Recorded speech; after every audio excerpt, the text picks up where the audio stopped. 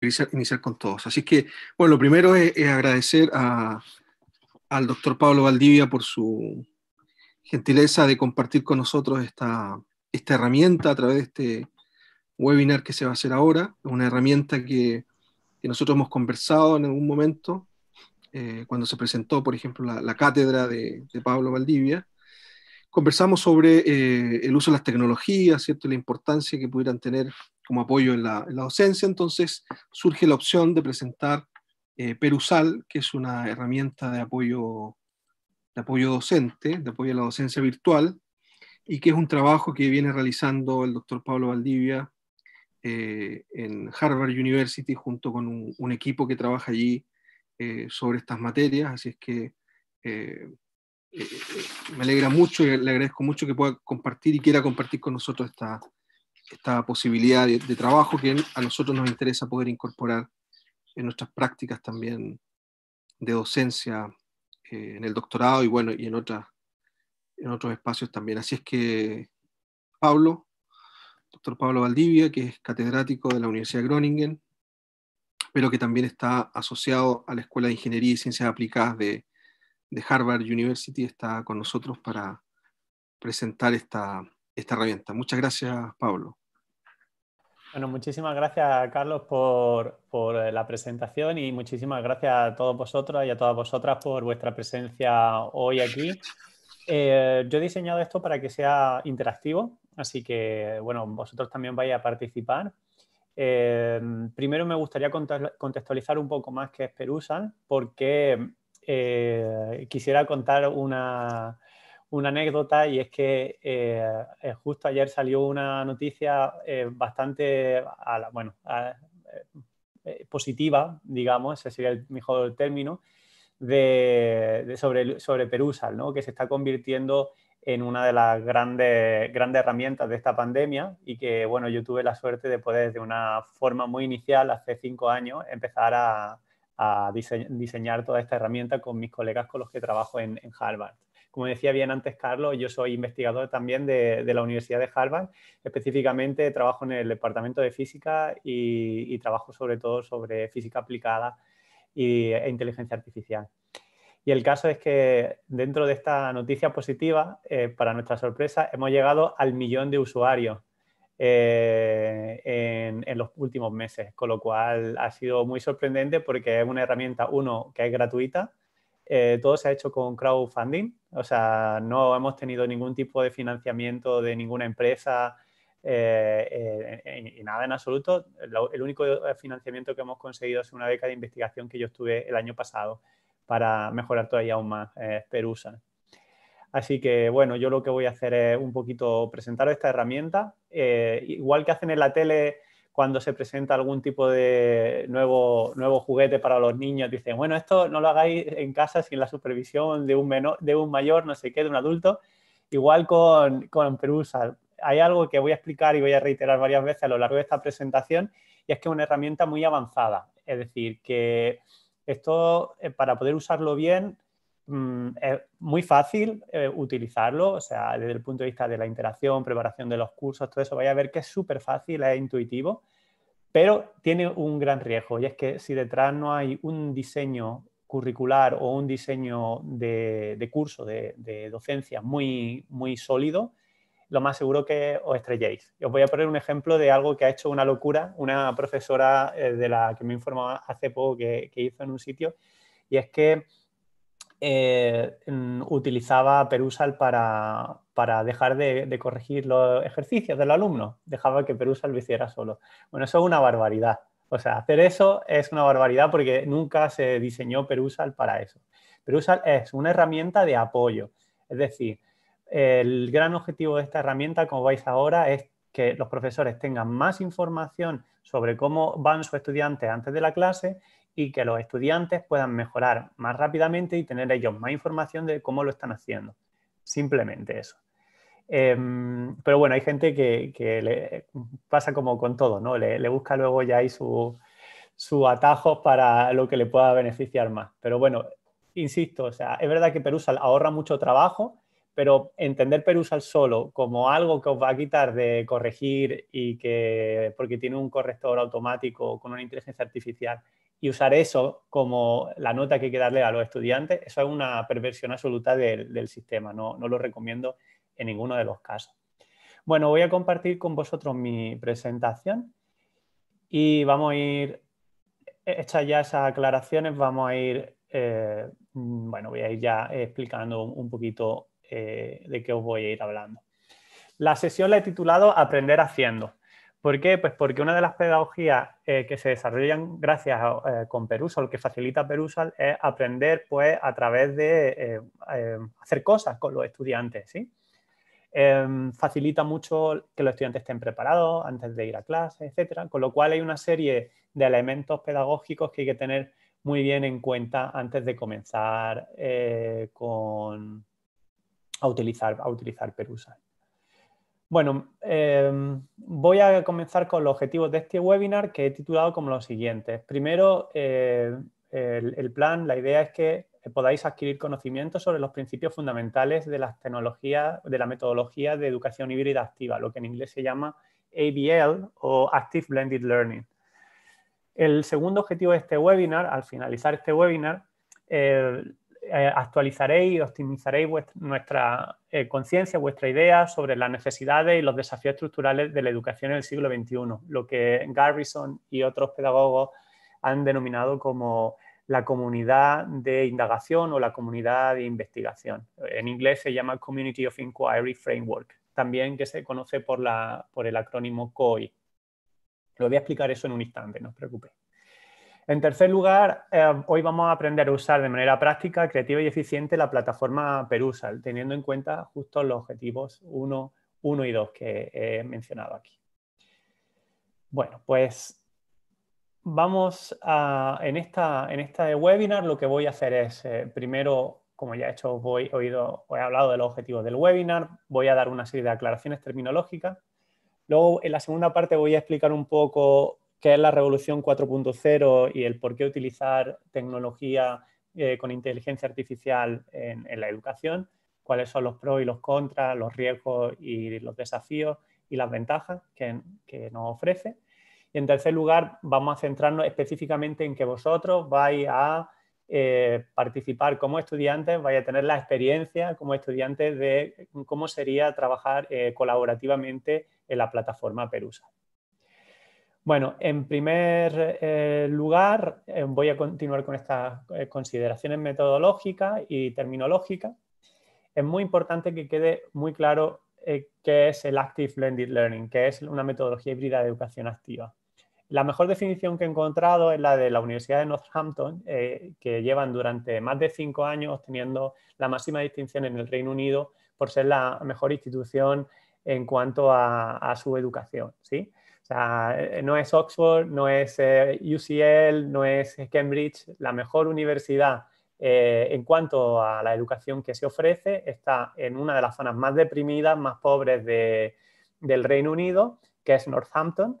Es una universidad pública y ellos han desarrollado un, método de híbrido de educación activa que está consiguiendo que sus estudiantes al término del, pregrado eh, en, el año siguiente, al término del pregrado, eh, más del 80% de los estudiantes obtienen un puesto de trabajo.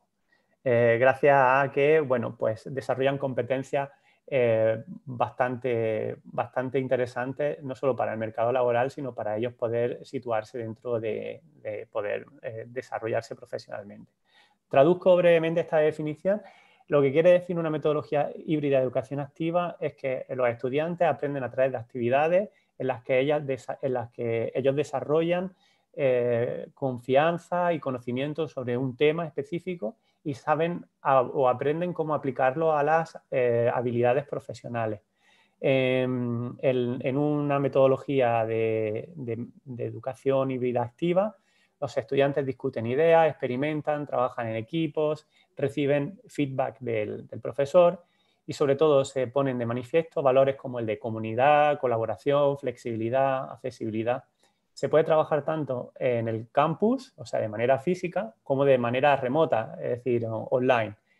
Y eh, esto hace además que los estudiantes se beneficien de, bueno, pues del, eh, uso de esta tecnología, desarrollando capacidades de eh, alta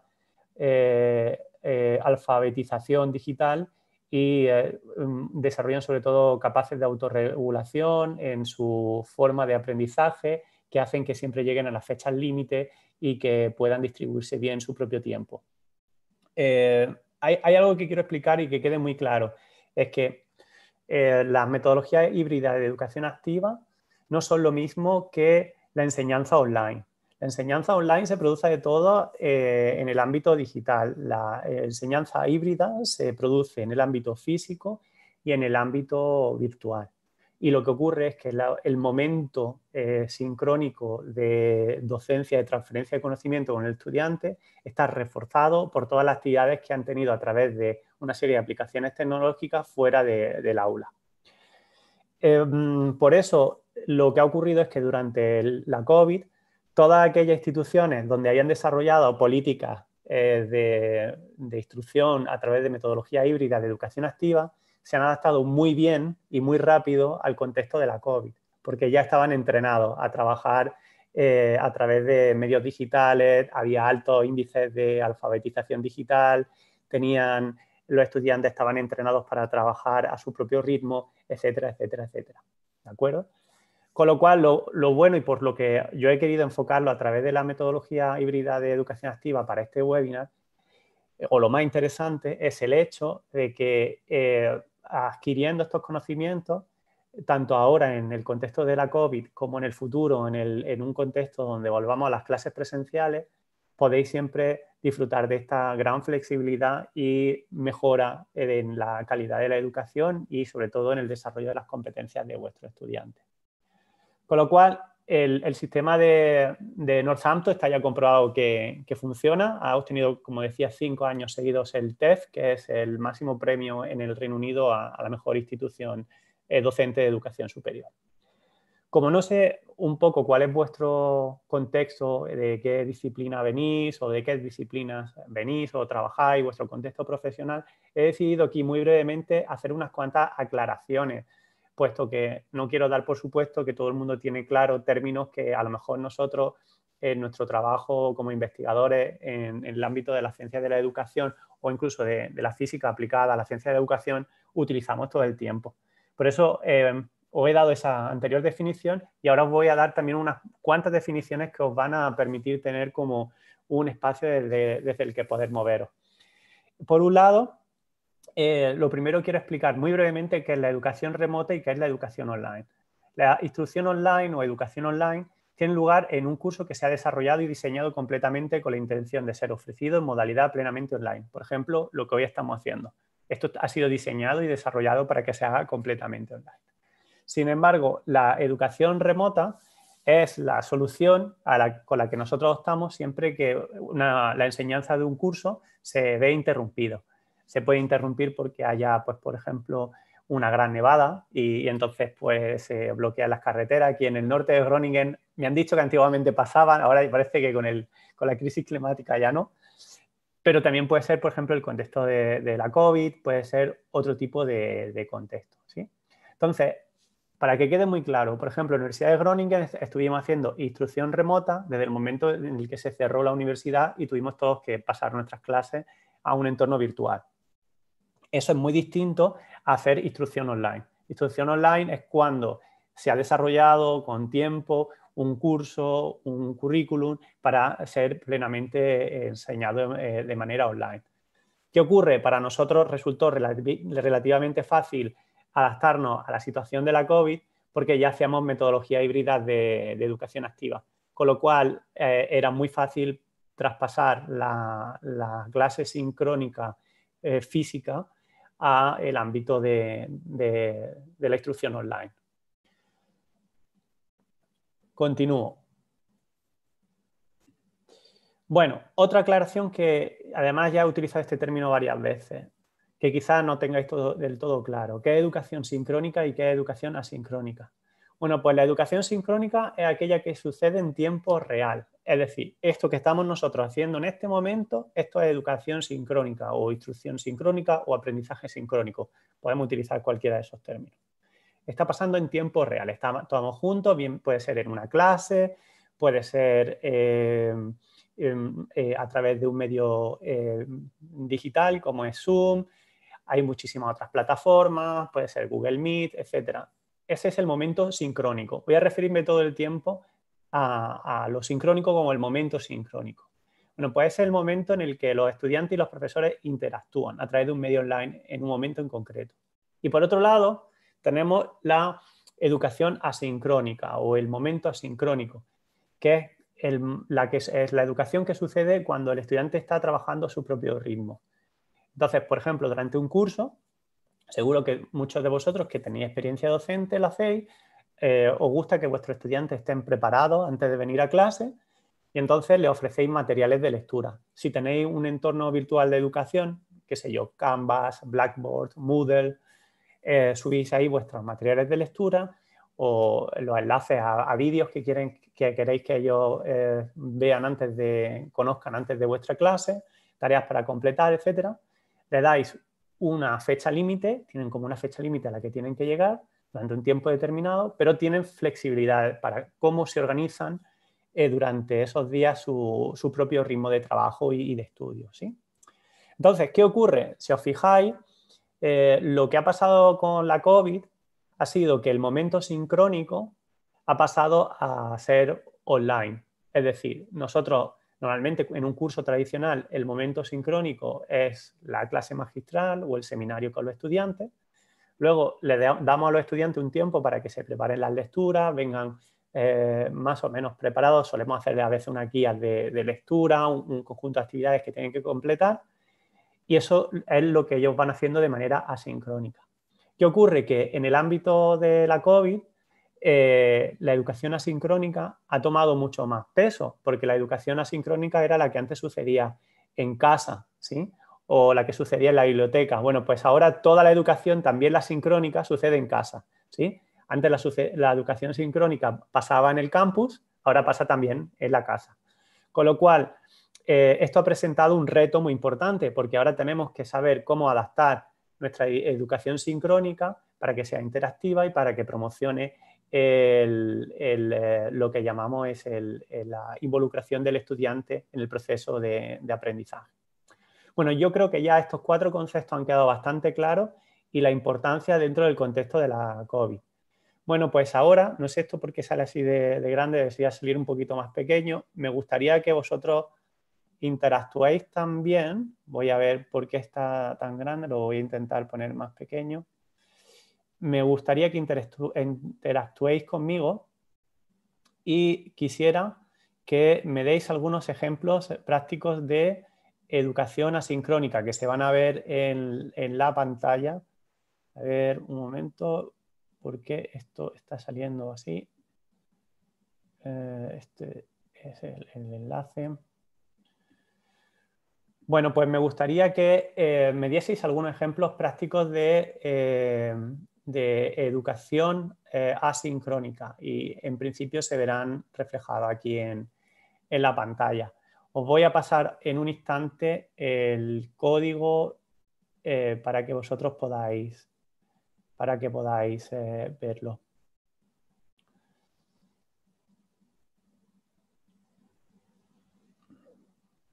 compartir esta pantalla. Aquí lo vais a ver mejor.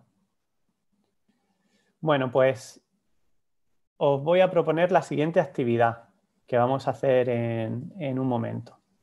Eh, quiero que vayáis a menti.com, podéis abrir una pantalla al lado de la que teníais anteriormente abierta. Introducís este código 2864465 y quiero que ahí pongáis vosotros otros ejemplos que para vosotros sean importantes o que consideréis de eh, educación, ejemplos de educación asincrónica. Yo he mencionado antes unos cuantos. He mencionado, por ejemplo, el que los estudiantes preparen un, artículo en casa. Bueno, pues, ¿qué otro, qué otro tipo de, de en momentos de educación asincrónica o actividades de eh, educación asincrónica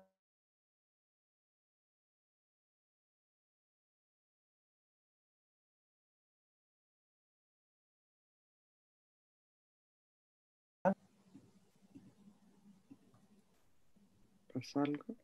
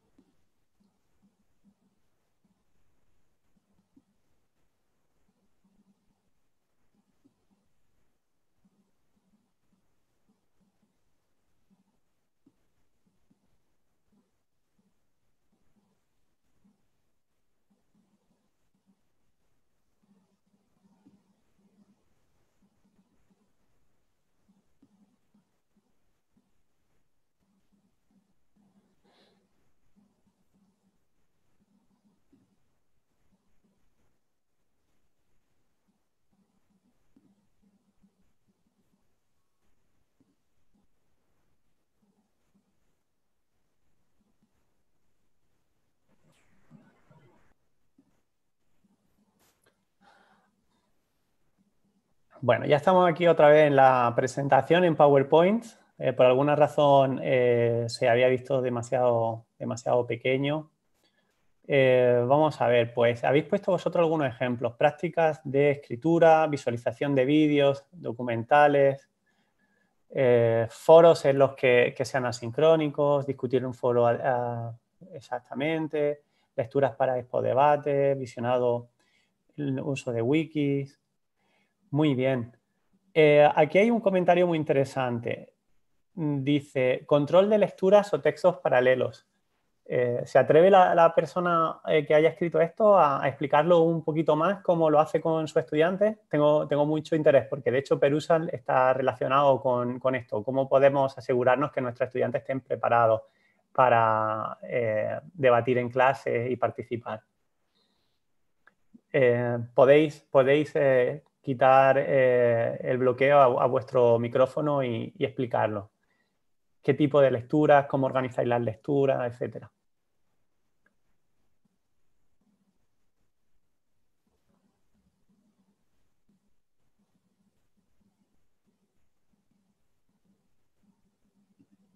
¿No hay ningún valiente? Bueno, no, no pasa nada. ¿Alguien que haya escrito algo similar? Similar como por ejemplo eh, aplicación de conceptos en talleres o actividades similares. Alguien que quiera dar su opinión, que nos cuente un poco su... No tengáis miedo ni timidez, podéis hablar libremente, no hay ningún tipo de respuesta ni, ni adecuada ni desacertada. Simplemente me gustaría tener un poco de interacción con vosotros y saber más cuál es vuestra experiencia.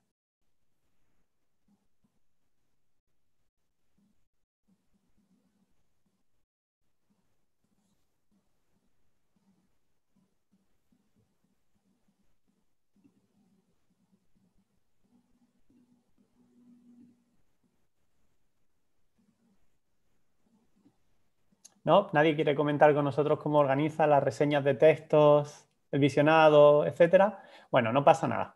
Veo que soy un poco tímido, espero que para el final de la sesión seáis, menos tímido. Bueno, pues eh, eh, realmente ese es como el gran reto, ¿verdad? Cuando estamos organizando nuestra educación asincrónica, eh, hemos visto que casi todas las respuestas vuestras están relacionadas pues, con facilitar el, poder adquirir una serie de conocimientos de manera sincrónica que luego ellos puedan utilizar en clase, ¿no? Ejercicios de lectura guiada, lecturas para preparar debates, etcétera, etcétera, etcétera. Pero claro, el problema está en, un, eh, normalmente cuando eh, no tenemos una situación de COVID, eh, tenemos que confiar en que el estudiante pues va a, va a, preparar esas, esas esa, lectura lecturas por alguna razón, ¿no? Normalmente ese, por alguna razón de preparación está basado en un elemento de motivación extrínseca. Eso quiere decir que hay un elemento, un agente fuera del propio estudiante que eh, conlleva eh, o anima a que ese estudiante pues, complete la, lectura.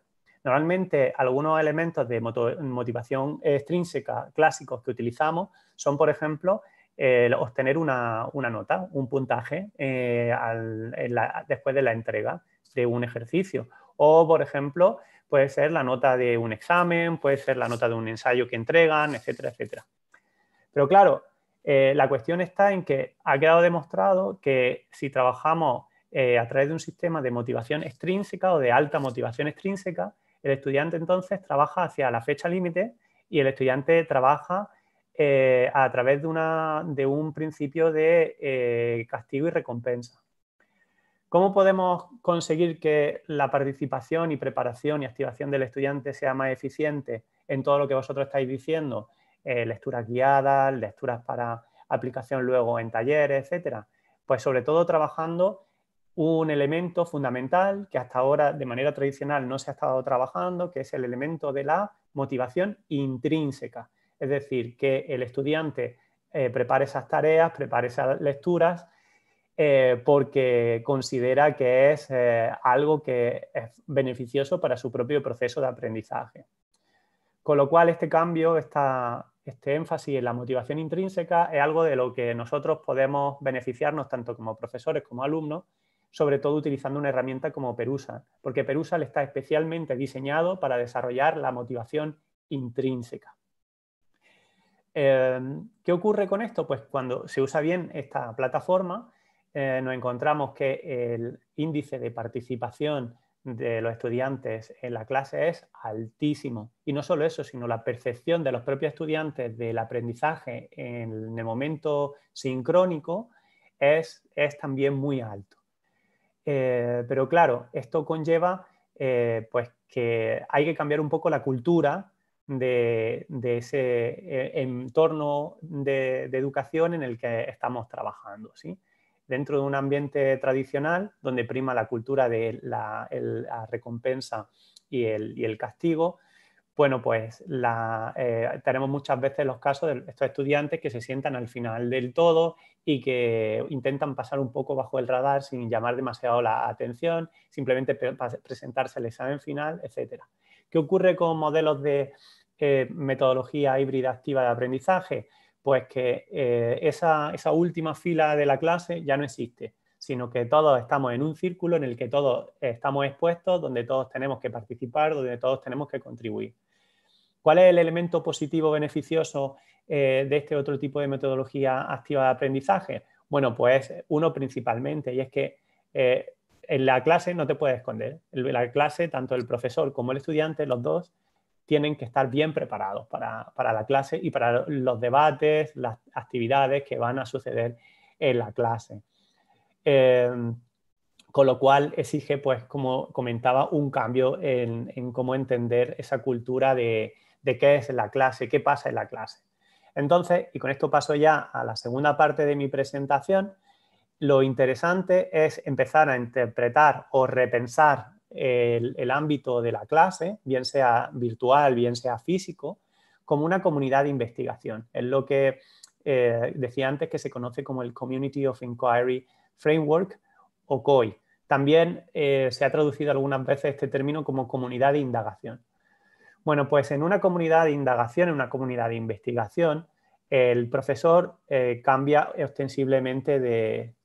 Uy, se ha detenido se ha detenido compartir pantalla, voy a, voy a volver a, a compartir, no sé por qué ha pasado esto. Sí, aquí está.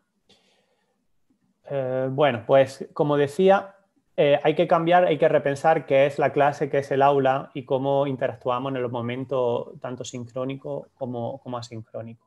Por lo tanto, el concepto de comunidad de investigación lo que hace es salir del aula, lo que hace es eh, eh, unir, hibridar tanto el momento sincrónico como asincrónico dentro de una comunidad de aprendizaje.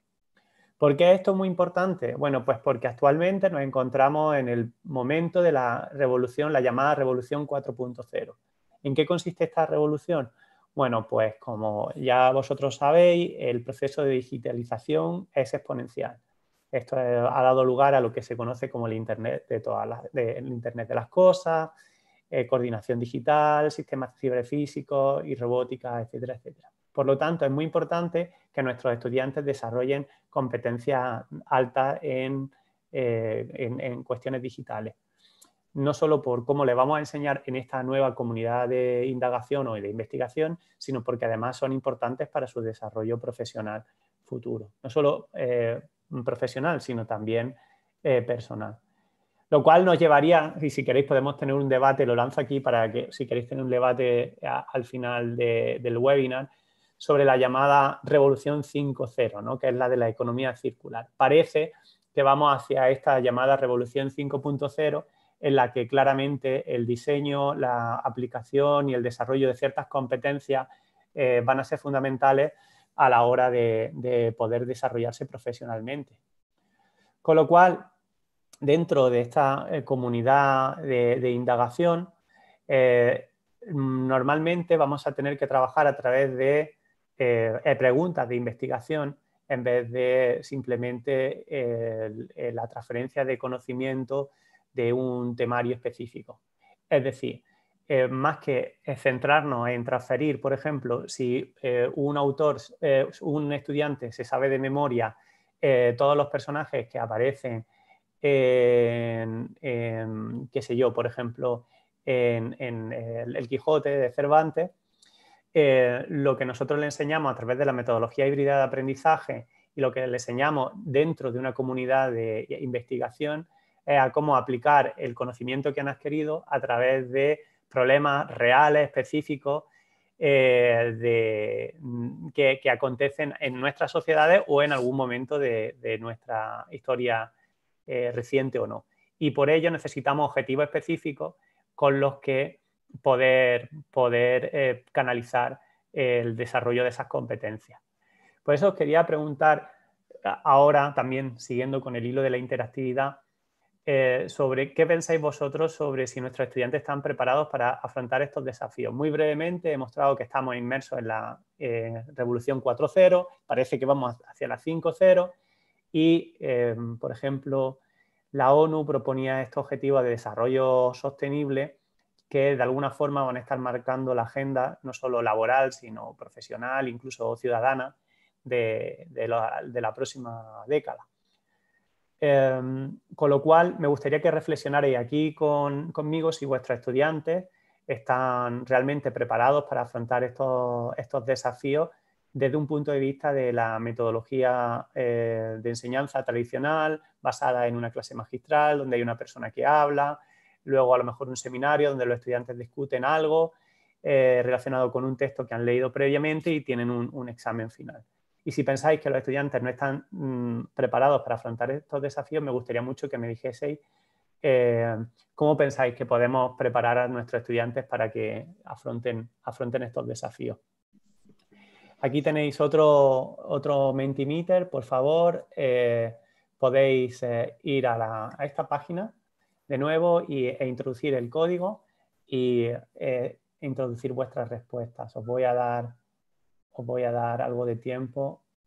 Sí. Igual podemos comentar por mientras. Eh, prefiero que, si no me importa, para que quede, para que quede em, en la presentación, me gustaría que eh, lo hicieseis a través de Mentimeter, si no me ah. importa, y luego yo os voy eh, sugiriendo aquellas respuestas más interesantes, os voy sugiriendo que, que elaboréis un poco. Voy a, voy a de nuevo hacer la misma operación de antes porque por alguna razón se ha, modificado y aparece un poco más pequeño que lo que yo tenía preparado.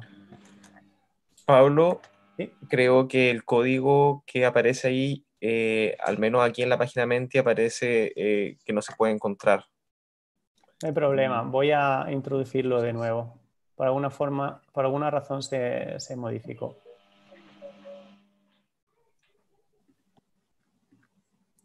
Ya la vais a tener aquí.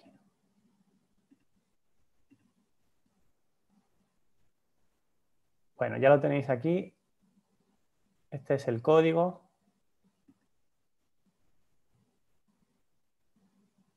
Y podéis eh, ir añadiendo vuestros comentarios.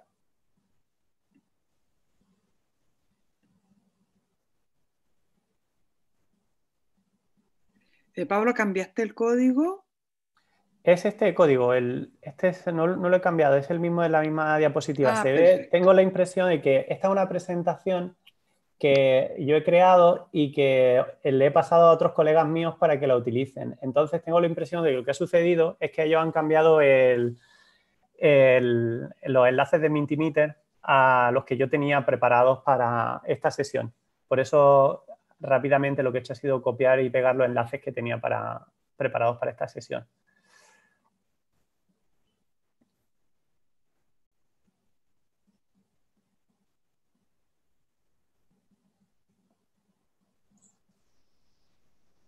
Disculpa, Pablo, ¿nos puedes repetir nuevamente cuál es el, eh, el planteamiento?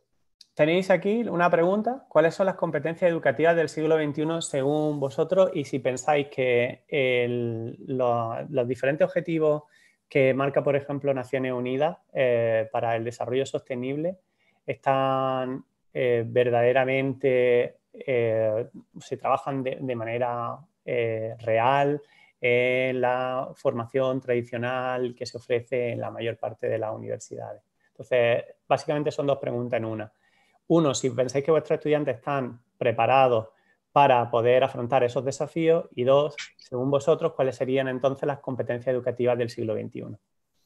Perfecto, gracias. De nada.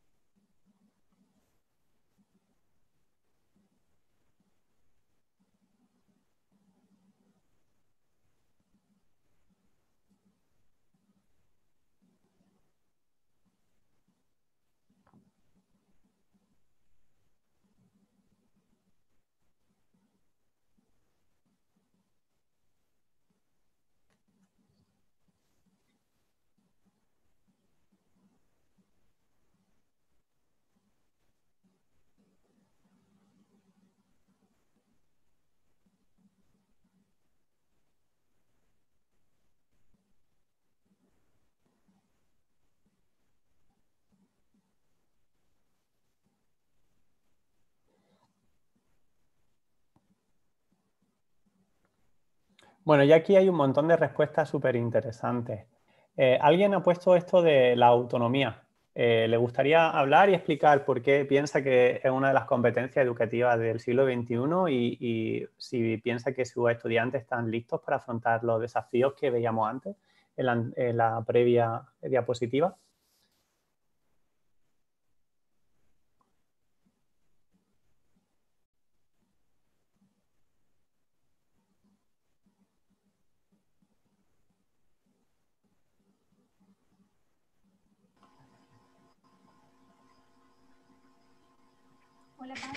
¿Sí?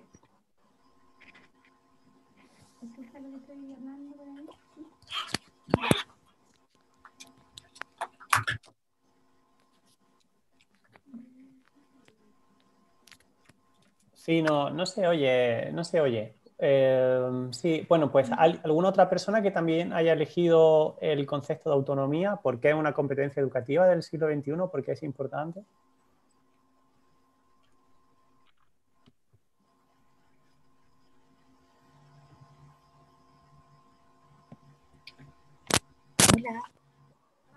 ¿Se escucha? ¿Sí? ¿Ahora sí se escucha? Sí, ahora sí. Eh, mire, bueno, yo no lo puse así, ¿eh? yo lo puse en Meet, pero no llegó, pero efectivamente mi respuesta iba hacia el, mismo punto, que es la autonomía en el aprendizaje. Efectivamente, eh, nos hemos encontrado en este semestre que nos tocó hacer cierta docencia online, obligatoriamente, con estudiantes que no estaban preparados y que efectivamente ellos responden a la educación del siglo XX todavía, donde el estudiante espera que termine el curso, que llegue la fecha de la prueba para comenzar a tomar los apuntes y leer y entender de qué se trata. Por lo tanto, las dudas les, surgen en el momento en que se ponen a estudiar. Y al aplicar un modelo de aprendizaje activo, en este caso nosotros aplicamos aula invertida, nos encontramos con que los estudiantes no leían, a pesar de que semana a semana nosotros intentábamos que efectivamente ellos leyeran los artículos, muy breves, siempre eligiendo espacios muy pequeños y muy constantes, sin embargo ellos se agobiaron. Se agobiaron y, de hecho en la universidad hubo un, paro de los estudiantes contra este modelo de aula invertida. Ellos lo encontraban que era agobiante, que no estaban preparados y efectivamente todos estábamos agobiados, tanto los docentes como ellos, pero sí para ellos fue un tema y tuvo que, ¿cierto?, explicarse cómo funcionaba el sistema, a pesar de que sí le habíamos dado todas las la formación al inicio, pero para ellos fue chocante el hecho de tener que estar preocupados de su propio aprendizaje y usar la clase para trabajar esos temas. Esa es mi experiencia en este semestre. Eh, muchas gracias. Perdona, ¿tu nombre? Marta. Tuvimos clases la, vez pasada, no sé si te recuerdas, en el doctorado. Sí, sí, sí, sí, Marta, pues muchísimas gracias por compartir tu experiencia, porque creo que es una experiencia de la que podemos aprender todos. De hecho, todo lo que tú has explicado son las típicas reacciones cuando nos movemos de un método basado en la eh, motivación extrínseca, sobre todo orientado hacia la obtención de una nota eh, a, través de un examen final, eh, donde prima la educación basada en, eh, esa lógica del castigo y la recompensa. Y es muy curioso porque aunque estas metodologías son mucho más liberadoras para los estudiantes, hay siempre un grupo o hay una primera reacción, sobre todo al principio cuando se empiezan a implementar, de estudiantes que lo entienden como una, como una imposición, claro, porque eh, les cambia el paradigma, tienen que desarrollar motivación intrínseca tienen que trabajar a su propio ritmo, se tienen que autorregular y tienen que desarrollar una competencia muy importante, que es la de la autonomía. ¿sí?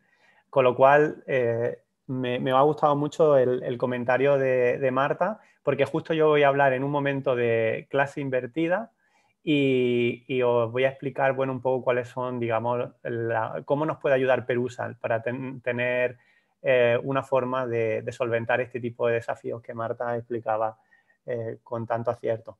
Me gustaría ahora que alguien me comentara por qué pensáis que la competencia de pensamiento crítico es una de las competencias del siglo XXI. ¿Por qué? Y en vuestra experiencia, ¿cómo habéis llevado esta clase?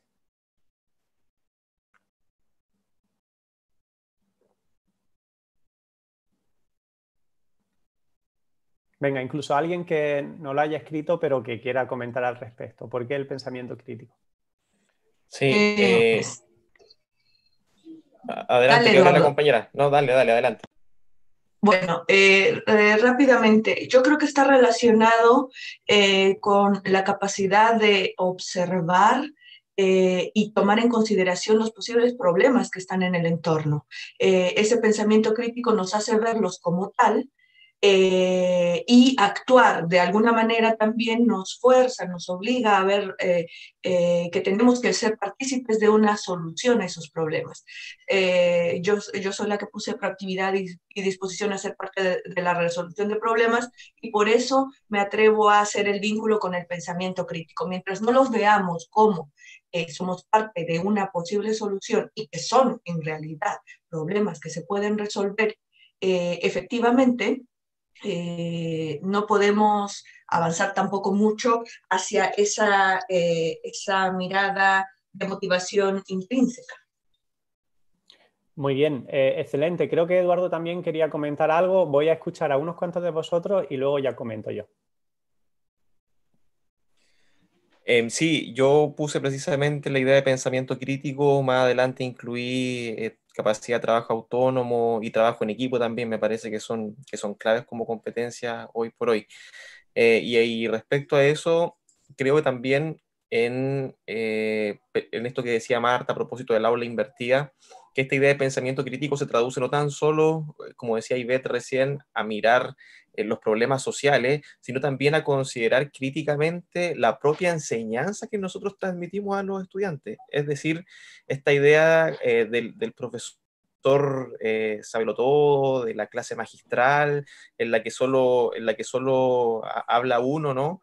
el, el, pensamiento crítico, a mi modo de ver, también va por poner en crisis incluso eh, eh, esos modelos y poner en crisis el conocimiento tradicional que se tiene de la ciencia, eh, esta idea de que los científicos no se equivocan, etcétera, etcétera, etcétera.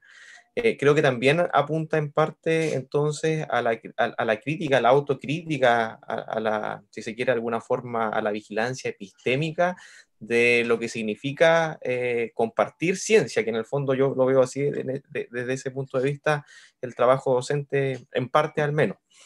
Y, por otra parte, em, mi, pregunta sería, o, me gustaría ver, porque me interesa mucho, creo que, es muy, es clave este tema que tú has puesto, Pablo, en torno a la motivación extrínseca e intrínseca, porque eh, a, mi modo de ver, sobre todo en la enseñanza de, pregrado, no, no de posgrado, creo que es, es precisamente una, una deficiencia, una carencia, y quizás tiene que ver con con el mayor, el mayor acceso que hay a la educación superior, en fin, donde eh, hoy se ve como algo que hay que hacer y no como algo que quiero hacer. Eh, eso simplemente. Me parece también una, una reflexión súper interesante. Eh, ¿Alguien más que quiera comentar? Y, y, si no, yo un poco hablo al hilo de lo que se ha visto. ¿Sí? Pablo Juan, por acá. Mira, quería solamente acotar el tema del pensamiento crítico que creo que es muy necesario y yo lo veo desde, donde, desde el área que estoy trabajando, la literatura, ¿no es cierto?, el teatro, que muchas veces se enseña el teatro eh, solamente como algo para performatividad, ¿no es cierto?, para, para la puesta en escena, pero se deja de lado también que a través de la, de la lectura del teatro uno puede trabajar también el pensamiento crítico, es decir, analizar el teatro para poder dar respuesta a algunas inquietudes que el mismo, eh, ¿no es cierto?, dramaturgo eh, le escribe. Por lo tanto, para mí, yo creo que es necesario también ir abriéndose mucho más, a, primero a, lo, a, que no solamente eh, la literatura es, eso, ¿no es cierto?, es solamente leerlo, sino que es proyectarse también a, pensar críticamente y a generar respuestas sobre lo que hay ahí. Y lo otro es también a través de la forma interdisciplinaria, es decir, no, no tan solo eh, la literatura tiene que ver con el lenguaje, eh, solamente también tiene que ver con la historia, ¿no es cierto? Se pueden eh, abordar de, distintas otras materias o subjects, no sé cómo de otra, de otra de, de mirar también. Eso, solamente el aporte Muchísimas gracias, Juan, por el aporte. También estoy, me parece muy afortunado, como las otras dos intervenciones, estoy plenamente de acuerdo. Eh, si os parece, voy a hacer un breve resumen de lo que yo veo como punto de contacto entre los tres aportes y es sobre todo cómo el pensamiento crítico eh, hay necesariamente que desarrollarlo siempre exponiéndose a las ideas de los otros, ¿verdad? Es algo que estáis vosotros tres comentando de una manera u otra, ¿no?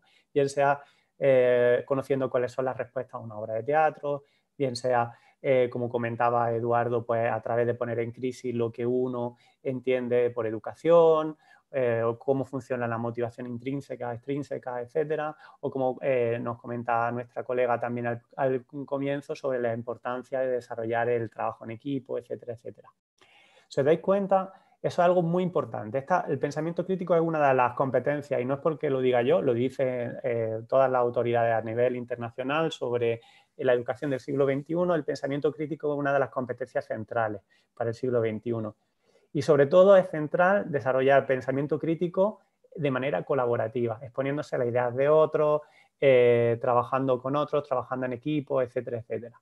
Bueno, pues Perusal ayuda a esto. Os voy a enseñar en, dentro de unos minutos cómo. Antes de pasar a, hablar un poquito más sobre competencias educativas del siglo XXI, me gustaría que al menos escuchar un par de vosotros hablar sobre creatividad y motivación constante. O sea, vosotros en vuestros cursos, ¿cómo aseguráis que vuestros estudiantes son autónomos, eh, hacen pensamiento crítico, pero también Y esto es muy importante porque la creatividad, eh, dentro de la taxonomía de Bloom, la creatividad es la competencia más compleja, más compleja y eh, el procesamiento cognitivo más complejo que existe. Entonces, eh, ¿por qué pensáis que es una competencia educativa súper importante? Y me podéis dar algún ejemplo, como habéis hecho antes, de cómo desarrolláis esto en clase. Pablo. Lo que pasa es que eh, yo quería dar una intervención pequeña eh, sobre estas competencias educativas de las que estamos hablando, las cuales me parecen muy pertinentes, pero me pasa que eh, en el contexto chileno creo que las brechas económicas de sobremanera hacen incluso hasta como inalcanzables estas competencias. Por ejemplo, me, me, me ha pasado estudiantes, por ejemplo, que han llegado sin tomar desayuno, por ejemplo y, o, no, o, muchos que no tienen, que solamente se toman un café y listo. Y, y, finalmente eso también contribuye a que estas competencias no sean alcanzables porque en el fondo no tienen un incentivo, no tienen las capacidades físicas para poder lograrlo. Entonces, como que, ¿qué pasa en, el fondo con, sobre todo aquí, por ejemplo, la región de la Araucanía, una de las regiones más pobres de, Chile? Eh, ¿Cómo poder llegar finalmente a estos objetivos que están más bien pensados en, en países más desarrollados, como, como en el fondo de la región acá en la Araucanía, en Chile.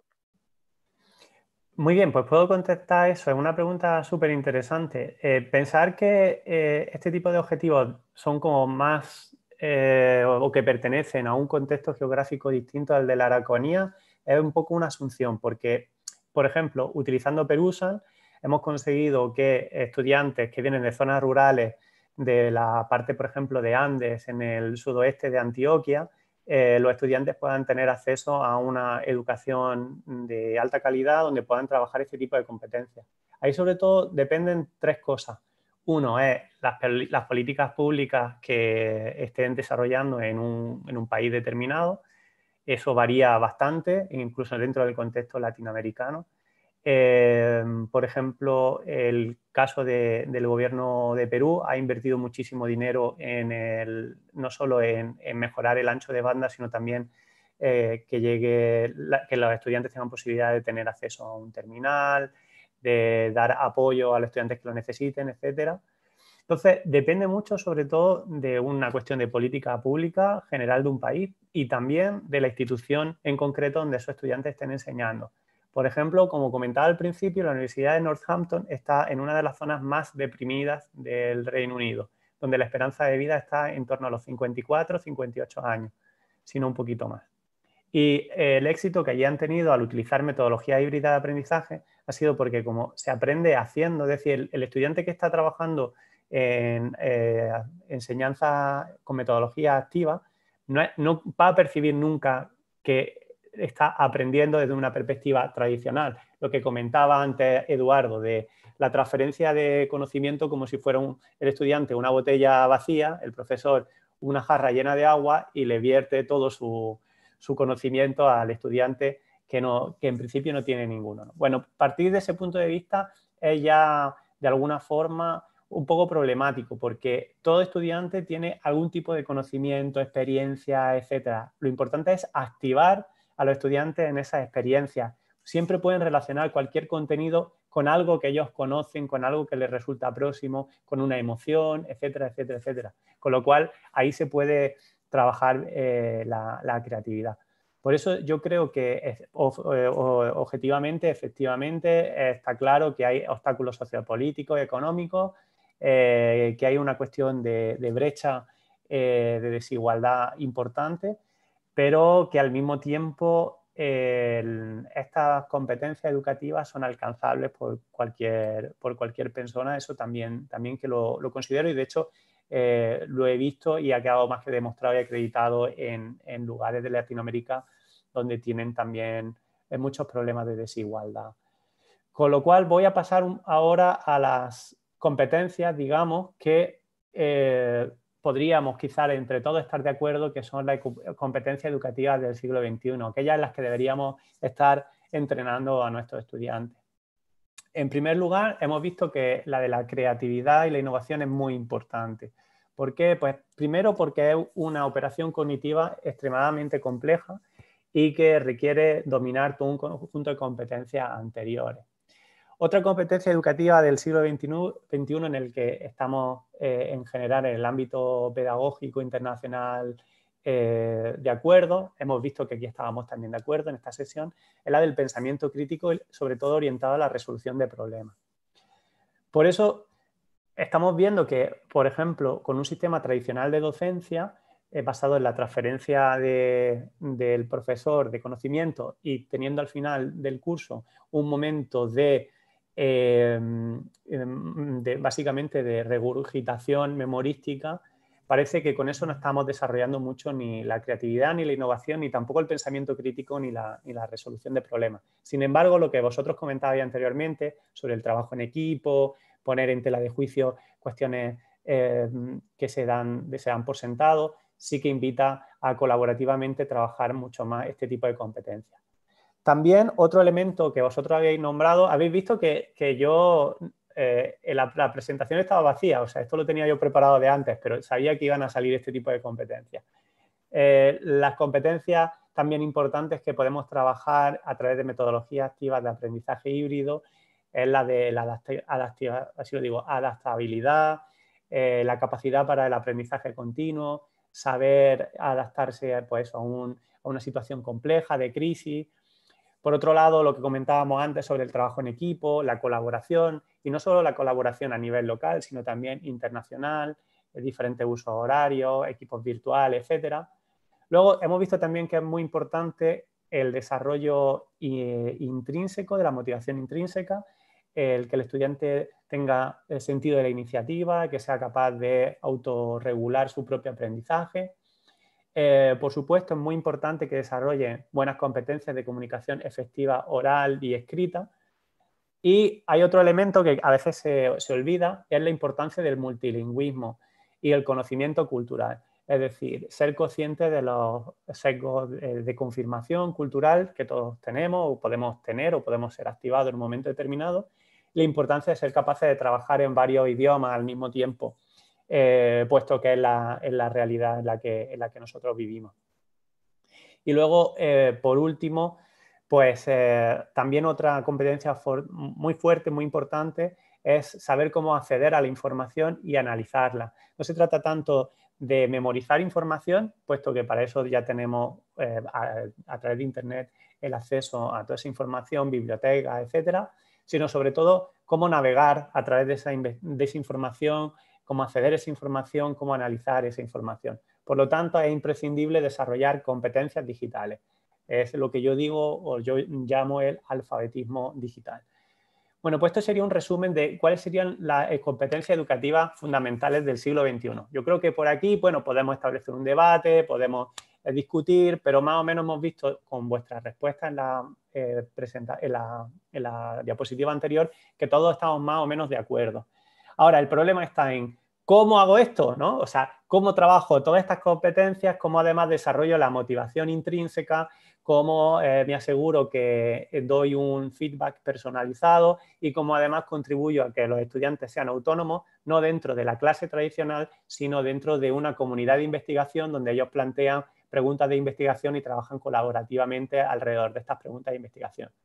Bueno, pues como, he comentado antes, eh, el punto de partida o uno de los posibles puntos de partida es generar eh, todo el diseño mm, constructivo y el alineamiento constructivo del curso, sobre todo a partir de la taxonomía de Bloom y cuáles son, digamos, estas categorías que nos interesan que nuestros estudiantes trabajen en, la clase, sabiendo, eh, no solo en la clase, sino en el momento asincrónico, sabiendo que eh, las categorías de analizar, evaluar y crear son siempre desde un punto de vista cognitivo las más complejas, las que le va a costar más trabajo a los estudiantes alcanzar. Por tanto, ¿cómo podemos conseguir esto? Bueno, pues nosotros tenemos ya evidencia eh, bastante eh, sobre que hay tres elementos clave eh, a la hora de preparar un curso y que con Perusa hemos sido capaces de, de, desarrollar satisfactoriamente. Uno, que el estudiante se sienta incluido dentro de la comunidad, es decir, si tenemos una comunidad que es completamente desigual, es imposible construir un, denominador común, con lo cual hay que trabajar siempre con una comunidad en términos de inclusión. Segundo, términos de activación. ¿Cuántas veces os ha pasado que habéis preparado una clase muchísimo, materiales súper interesantes, pensabais que ibais a tener el debate de vuestra vida con vuestros estudiantes en clase y llegáis a la clase y nadie se ha leído nada y nadie habla y todo el mundo callado? Bueno, pues gracias a Perusal ese, riesgo se minimiza bastante. Y por último, por último eh, como decía antes, he insistido mucho en esto y seguiré insistiendo, eh, trabajar la categoría más compleja que hay, que es la de, la de creación. Con lo cual, teniendo estos tres pilares en cuenta, podemos asegurarnos que podemos desarrollar una educación activa, personalizada y colaborativa que se adecue bien a eh, esas competencias que veíamos antes. Por supuesto, eh, esto nos lleva a repensar, y esto lo comentaba antes Eduardo y otra, serie de compañeros, que de alguna forma tenemos que repensar la experiencia educativa. O sea, cómo organizar eficientemente la educación sincrónica, para que no nos pase que se nos revelen los estudiantes eh, con, la, clase invertida, cómo organizar eficientemente la educación asincrónica para asegurarnos que la experiencia de aprendizaje es plena y sobre todo cómo fortalecer el alineamiento constructivo de todos los elementos que conforman una experiencia educativa. Es decir, esto es para mí lo más importante. Si vosotros ponéis a usar Perusa sin antes tener claro cuál es el alineamiento constructivo de vuestro curso, vaya a fracasar. O sea, no va a servir, no va a funcionar. Os lo digo ya, mejor no utilizarlo porque no va a funcionar. Si queréis usar Perusal, tiene que ser siempre porque estáis repensando desde todos estos prismas, desde todas estas perspectivas que he, explicado aquí de manera muy sucinta y breve, mm, cómo repensar todos estos elementos que conforman la experiencia educativa. Es decir, qué actividades vaya a tener el momento asincrónico, cómo van a estar relacionadas con el momento sincrónico, qué competencias vaya a trabajar, cuáles son los objetivos de aprendizaje específicos para cada sesión, en qué formato, etcétera, etcétera, etcétera. Si todo eso no está muy bien pensado, o sea, si todo el alineamiento constructivo no está muy claro, eh, es mejor no usar Perusa. Por lo, tanto, eh, para sacarle las mejores prestaciones posibles a Perusa, es muy importante que estos principios estén anteriormente muy, muy claros en todos vosotros. Bueno, pues pasamos a la parte 3, aprender haciendo. Os he puesto aquí, os presento a mi querido amigo y colega eh, catedrático Eric Masur, eh, decano de física en la Universidad de Harvard, que fue cofundador de, Perusa, con quien llevo trabajando bastantes años. Yo contribuí al entrenamiento de la inteligencia artificial que lleva Perusa en, lengua española. Luego explicaré para qué sirve eso. Os recomiendo mucho este vídeo, esta charla, que está traducida al español, eh, que se llama La instrucción por pares y el asesino silencioso del aprendizaje. Eh, tanto Eric como yo pensamos que eh, hay un asesino silencioso que mata el, mismo proceso de aprendizaje, la posibilidad de que nuestros estudiantes sean autónomos, y es la forma de evaluar tradicionalmente y la forma de transferir conocimiento tradicionalmente. Estamos bastante en contra de eso y ahí Eric lo explica muy bien. Como alternativa planteamos la instrucción por pares. Os voy a explicar en un instante en qué consiste esto de la eh, instrucción por pares. Bueno, pues de alguna forma os he resumido aquí eh, mm, todo lo que he explicado hasta ahora para que lo tengáis a modo de esquema y lo podáis vosotros incorporar a vuestro propio diseño de vuestros cursos cuando estéis preparando vuestros cursos en el futuro. Eh, ¿Qué hemos visto? Pues que esta clave del aprender haciendo, o sea, a través de proyectos en grupo, trabajo en equipo, etcétera, funciona muy bien con los estudiantes. Y cuando hablamos de aprender haciendo, en realidad estamos hablando de la confluencia de tres mm, técnicas, tres estrategias eh, pedagógicas que eh, hay que dominar bien para poder eh, hacer que, todo este alineamiento de diferentes estrategias funcione de la manera más adecuada posible. Por un lado, partir del concepto de la clase invertida que como antes veíamos puede ser problemático porque, claro, hay muchos estudiantes que están acostumbrados a eh, ir a clase y sentarse al final de, la clase sin tener nada preparado, entonces hay muchos estudiantes que se pueden sentir eh, de alguna forma que, eso de, no, de estar en silencio en clase y tomar apuntes, eso, eso ya no es posible.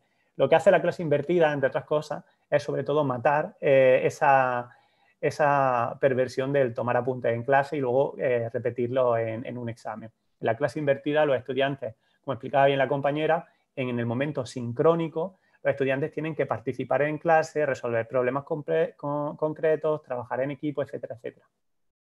¿Cómo se puede hacer esto tanto de manera sincrónica como asincrónica para desarrollar, entre otras cosas, la motivación intrínseca de los estudiantes? Bueno, pues la instrucción por pares. En un modelo de instrucción por pares son los eh, mismos estudiantes los que van dándose feedback bajo la supervisión, guía y facilitación del profesor. Por lo tanto, eh, si a esto además le añadimos el componente de Perusal, de esta plataforma que en un instante vamos a empezar a trabajar con ella, vais a ver que todo lo que antes nos planteábamos que parecía un poco eh, imposible alcanzar, es posible alcanzarlo. Con lo cual, y con esto ya termino toda esta parte eh, previa a la cuestión práctica de ponernos con Perusal, es muy importante que quede en vosotros claro que dentro de la educación sincrónica vamos a tener siempre actividades basadas, prácticas basadas en casos de estudio, proyectos y trabajo colaborativo. Dentro de este, eh, digamos, lo que aquí he denominado aprender haciendo. Además, eh, vamos a tener sesiones en las que vamos a consolidar, expandir y dar sentido a los conceptos e información transferida. ¿De acuerdo? Es decir, ¿cómo esto se traduciría en algo muy concreto? Pues, por ejemplo, en una clase eh, sincrónica, mm, ahí no vais a estar contándole un rollo a los estudiantes, sino que van a ser los estudiantes los que van a estar preguntando las dudas que ellos tienen, que les han surgido después de haber leído sus textos, haber estado trabajando los textos, etcétera, etcétera, etcétera. Además, además eh, el profesor se convierte en el líder de una comunidad de investigación o incluso, lo que yo prefiero, en un facilitador de discusión y soporte y guía para aclaración de dudas y problemas. Aquí el tiempo está arreglado, es decir, vaya a encontraros con vuestros estudiantes durante un tiempo determinado, pero eh, insisto, eh, el fin de ese, tipo de educación sincrónica es sobre todo eh, consolidar, expandir y dar sentido a los conceptos, más que transferir información. Por otro lado, en la educación asincrónica, dentro de un curso, lo que vamos a trabajar son actividades previamente diseñadas por el profesor. y esta es donde estaba antes la dificultad que cubre ahora Perusa. O sea, ¿cómo podemos saber cuáles son los problemas en tiempo real que vuestros estudiantes tienen cuando ellos de manera eh, particular, a su propio ritmo, van trabajando los vídeos, van trabajando los textos, el feedback que se van dando entre ellos, etcétera, etcétera. También era un reto en la educación asincrónica eh, pues construir sesiones que realmente activaran la motivación intrínseca del estudiante y esa transferencia de información entre ellos. Y además, eh, hacerle entender a los estudiantes que ahí ellos son los líderes de su propio aprendizaje y cada estudiante es como una especie de nodo red de la, de la comunidad de investigación. La diferencia con respecto a la educación sincrónica es que la educación asincrónica el tiempo es flexible y personalizado. Pues muy bien, y ahora vuelvo a, un poco a lo que os comentaba antes. ¿Cómo podemos hacer todo esto? Porque sobre el papel eh, suena fantástico, eh, nos imaginamos todos mil opciones de, clase que podríamos pensar para trabajar con nuestros estudiantes, pero realmente, realmente, ¿cómo podemos hacer esto de una manera práctica? Bueno, pues para eso fue creado Perusal. ¿Qué es realmente Perusal? Pues una herramienta creada para conectar, activar y apoyar la comunidad de investigación, sobre todo en la consolidación y en la adquisición de las competencias facilitadas a lo largo de eh, las sesiones tanto sincrónicas como, como asincrónicas y las actividades sincrónicas que, les pongamos a nuestros estudiantes. Bueno, pues lo que vamos a hacer ahora es que em, yo he creado ya un curso de Perusan para que vosotros lo utilicéis. Con lo cual, yo ahora voy a salirme de la presentación, voy a hacer login en Perusan eh, y vamos a, vamos a trabajar todos juntos en una serie de actividades que he preparado para vosotros en tiempo real, de manera eh, sincrónica crear un curso en Perusal es súper fácil. O sea, si ahora os vais a registrar como estudiantes, pero si fueseis profesores, lo único que tenéis que hacer es hacer login en Perusal, elegir cuál es la modalidad de educación eh, que necesitáis. Yo en este webinar he elegido curso y luego configurar un conjunto de documentos y tareas. Si queréis, una vez que practiquéis un poquito con Perusal, eh, podemos hacer, eh, os puedo enseñar también cómo, se crea el, el curso para que os resulte bastante asequible. Por último, os he dado un conjunto de informaciones adicionales, por si es vuestro interés, eh, que como se repartirá, se, pasará esta presentación en PowerPoint que he realizado, pues eh, ya podréis tranquilamente verlo en, casa. Voy a dejar de compartir pantalla un instante porque voy a entrar en Perusa voy a, enseguida entrar en un momento eh, a, preparar simplemente a, mostrar el curso y en ese instante son dos, tres minutos si queréis hacer un pequeño descanso, podéis hacerlo. Eh, en cinco minutos continuamos con la parte práctica de Perusa.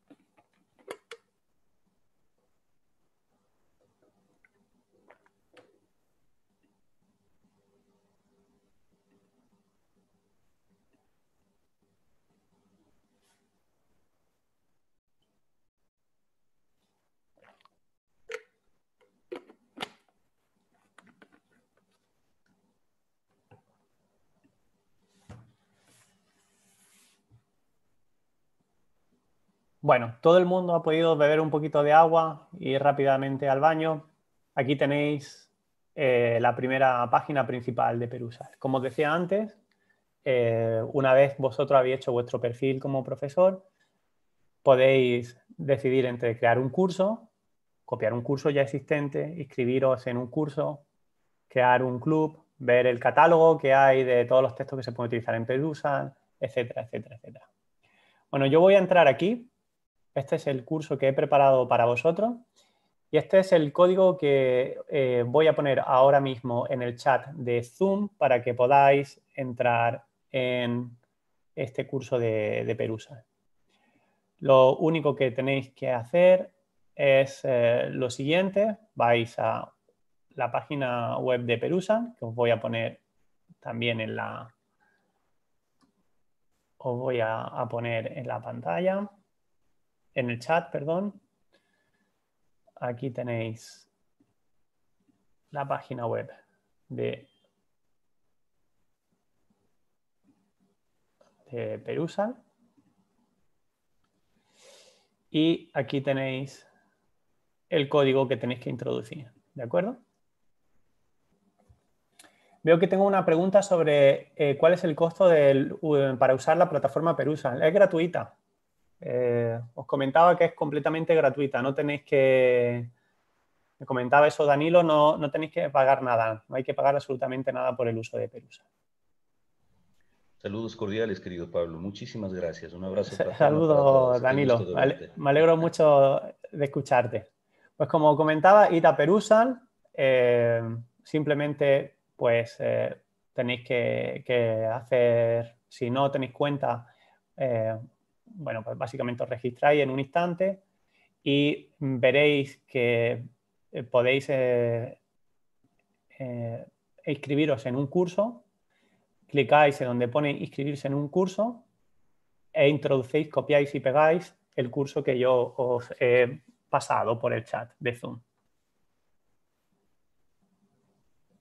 Veo que hay algunos estudiantes que están ingresando, bueno, algunos de vosotros que estáis ingresando en el webinar.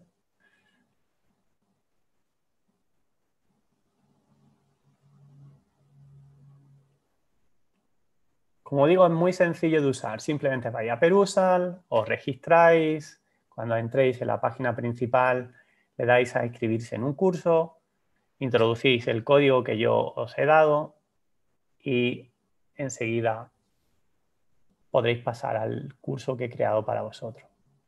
A modo de ejemplo.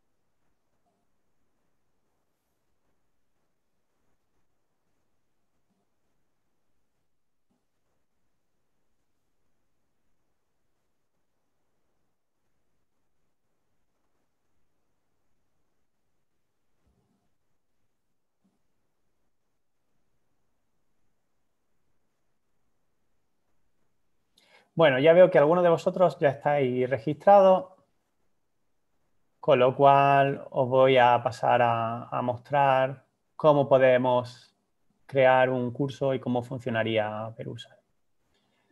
Bueno, como os comentaba, realmente es muy fácil crear un curso. Si yo soy un profesor, lo único que tengo que hacer es que me vengo aquí, donde pone Get Started, y tengo que seguir estos tres sencillos pasos. En primer lugar, el sistema crea un código que es solo para este curso, que es el que les doy a mi estudiante, el que vosotros habéis utilizado para entrar en este curso. En segundo lugar, elijo un conjunto de lecturas o documentos que quiero que los estudiantes trabajen. En tercer lugar, creo tareas eh, sobre, esos sobre esos textos que quiero que los estudiantes trabajen. Yo, en caso particular para, vuestro, este training, para este webinar, he subido un artículo de prensa, eh, es una entrevista a Eric Masur en El País, y he subido un vídeo de la escritora Chimamanda Adichie sobre la importancia de no eh, tener una historia única. Como veis aquí, podemos utilizar muchos otros tipos de, fuentes. Podemos utilizar libros de texto, podemos utilizar páginas web, como yo he hecho con el caso de Eric Masur. Podéis subir documentos desde Dropbox, podéis subir documentos de vuestro ordenador, eh, materiales de otros cursos, vídeos, carpetas, etc. Lo que es muy importante es que si vosotros no tenéis los derechos de autor sobre un material en concreto, os aseguréis que son de libre uso o contactad con vuestros eh, servicios de vuestra biblioteca, eh, contactad con las personas adecuadas de, responsables de vuestra, de vuestra universidad para que, para que os asesoren sobre qué eh, textos podéis utilizar o no. De todas formas, la biblioteca de Perusal, que ya trae incorporada, es muy amplia, con lo cual muchos manuales, libros que os pueden interesar van a estar ya ahí. Si no, como siempre, podéis eh, ver esto con, las personas ya específicas de vuestra, de vuestra institución. Bueno, pues voy a crear una tarea ahora mismo con todos vosotros. ¿sí? Aquí tenemos este documento, esta entrevista, y voy a crear la tarea. Eh, aquí simplemente voy a dejar el nombre y la descripción tal y como está, no me interesa cambiarlo, con lo cual me voy a la tarea y le doy aquí a Add Assignments. Elijo qué contenido eh, quiero que consista vuestra tarea, eh, puedo elegir cuántas páginas quiero que vosotros trabajéis, pues todo eso lo puedo seleccionar según me interese y puedo elegir cuál es la fecha límite para la tarea que os voy a poner a vosotros. Con lo cual, en este caso, voy a poner de fecha límite el lunes que viene a las 12 de la mañana. Y voy a poner, esta se va a llamar tarea 1. Podéis poner lo que queráis. Y aquí eh, podéis poner las instrucciones para vuestros estudiantes, todo aquello que penséis que eh, es interesante que ellos eh, tengan en cuenta a la hora de trabajar ese texto, ese documento, esa página web, etc. En este caso voy a poner que cada estudiante debe hacer al menos cinco comentarios. Y de estos cinco comentarios, al menos uno debe ser una pregunta. Sí, estas van a ser mis instrucciones para vosotros. Siguiente paso. Aquí puedo elegir cuántas anotaciones quiero que el sistema eh, automáticamente califique. Como solo os he propuesto cinco anotaciones, eh, vamos a poner simplemente cinco. Eh, la, tarea la voy a poner desde ayer simplemente para que la tengáis visible. Aquí, si solo fuera para unos estudiantes específicos, podría elegir qué estudiantes quiero que trabajen. Y aquí puedo chequear si quiero que la, eh, vosotros hagáis esta tarea de manera anónima o la tarea es opcional. Estas son modalidades que ya dependiendo de la configuración de vuestra comunidad de investigación, pues ya vosotros vais eligiéndolas. Por ahora lo voy a dejar para que todos eh, podamos ver guardo los cambios. Bueno, ya tengo aquí esta tarea y antes de pediros que empecéis a trabajar en ella, me voy a ir a la configuración y eh, lo que voy a hacer es establecer que la lengua de las anotaciones va a ser el español. Porque, ¿Qué es lo que tiene especialmente interesante Perusal? Es que tiene una inteligencia artificial que hemos entrenado que lo que hace es que califica de manera automática, da una nota orientativa al estudiante para que sepa cómo lo está haciendo, si eh, puede mejorar en la calidad de, sus comentarios, si puede, por ejemplo, o debe eh, leer los textos con más atención, etcétera, etcétera, etcétera. Bueno, pues voy a guardar esos cambios y eh, ahora voy a pedir en los próximos minutos, vamos a ir a este texto, vamos a darle aquí a abrir, hay algunos de vosotros que estáis aquí, y vamos a empezar a trabajar colaborativamente. Por ejemplo, eh, voy a mm, comentar algo sobre este esta primera frase. ¿Veis? Es muy fácil. Simplemente lo que hago es que eh, señalo aquella parte que yo quiero comentar, bien puede ser una foto, puede ser un trozo de texto, lo que sea, y ahora introduzco aquí mi comentario. Eh, lo que he seleccionado de Eric en ese artículo decía, escuchar, tomar notas, memorizar, reproducir información en exámenes que más allá de la pandemia apenas han cambiado con el paso del tiempo. Así son las líneas generales de muchos de los sistemas educativos actuales y pasados. Yo voy a hacer un comentario. Como hemos eh, visto en la primera y segunda parte del webinar, em, las eh, competencias eh, educativas del siglo XXI demandan otro tipo de enfoque que no esté basado en la clase magistral. Ese es mi comentario, lo introduzco y em, vosotros a medida que vayáis escribiendo también el texto, vuestros comentarios irán apareciendo aquí en la parte de, la derecha, igual que el mío. Así que os invito a que empecéis a escribir en estos próximos minutos para ir probando el sistema. Y así os iré explicando algunas de las funcionalidades. Podéis ir leyendo el artículo y eh, comentando cualquier cosa que os haya llamado la atención, que os parezca interesante, etcétera, etcétera, etcétera.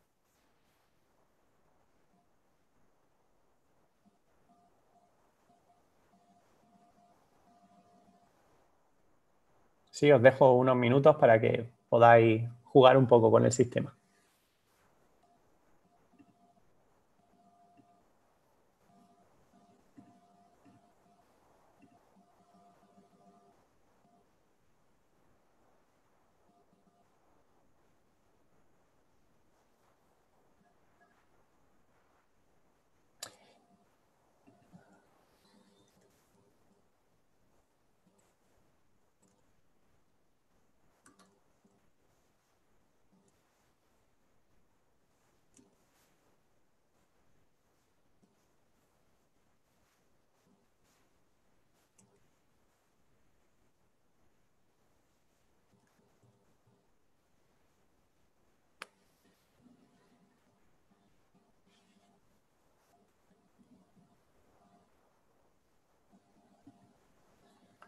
Como veis, el interfaz de Perusal es muy sencillo de utilizar, es muy, como se dice en inglés, muy user-friendly, muy amigable.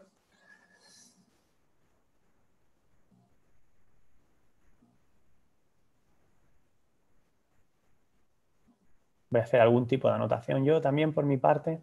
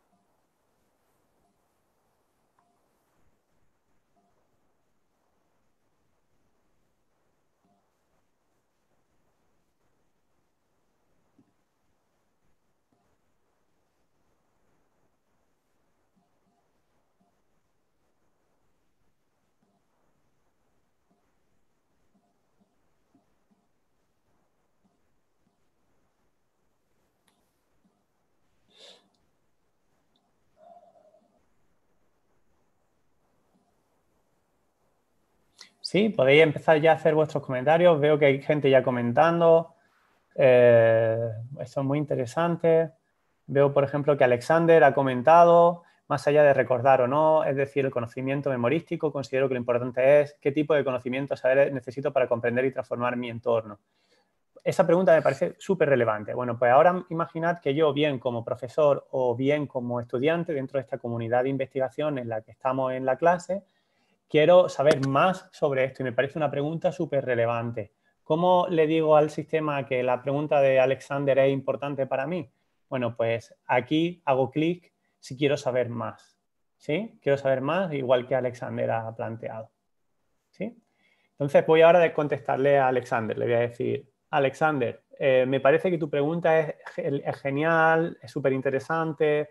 Eh, vamos a ver si alguien nos contesta. Bueno, ¿cómo puedo establecer ese diálogo, ¿no? ese trabajo colaborativo, esa eh, interacción? Pues de la siguiente manera, simplemente tendría que eh, seleccionar a, Alexander y le diría, me parece súper interesante o me parece muy oportuno oportuna tu pregunta. A mí también me gustaría saber más. Vamos a, ver si alguien puede contribuir a este importante debate. Y le voy a decir a Vanessa que si ella quiere dar su eh, opinión al respecto. ¿Qué piensas tú al respecto? ¿Sí? Y de esa manera ya estoy creando interacción. O sea, ya estoy creando interacción. a partir de una pregunta de Alexander, estoy eh, creando interacción, estoy ya hablando con otros miembros de la comunidad, etc. Vamos a ver algunas de otras anotaciones que habéis realizado. Sí, por ejemplo, aquí Juan. Juan ha puesto eh, en torno a una frase que aparece al principio del documento que dice la educación es uno de los sectores que más innovación necesitan.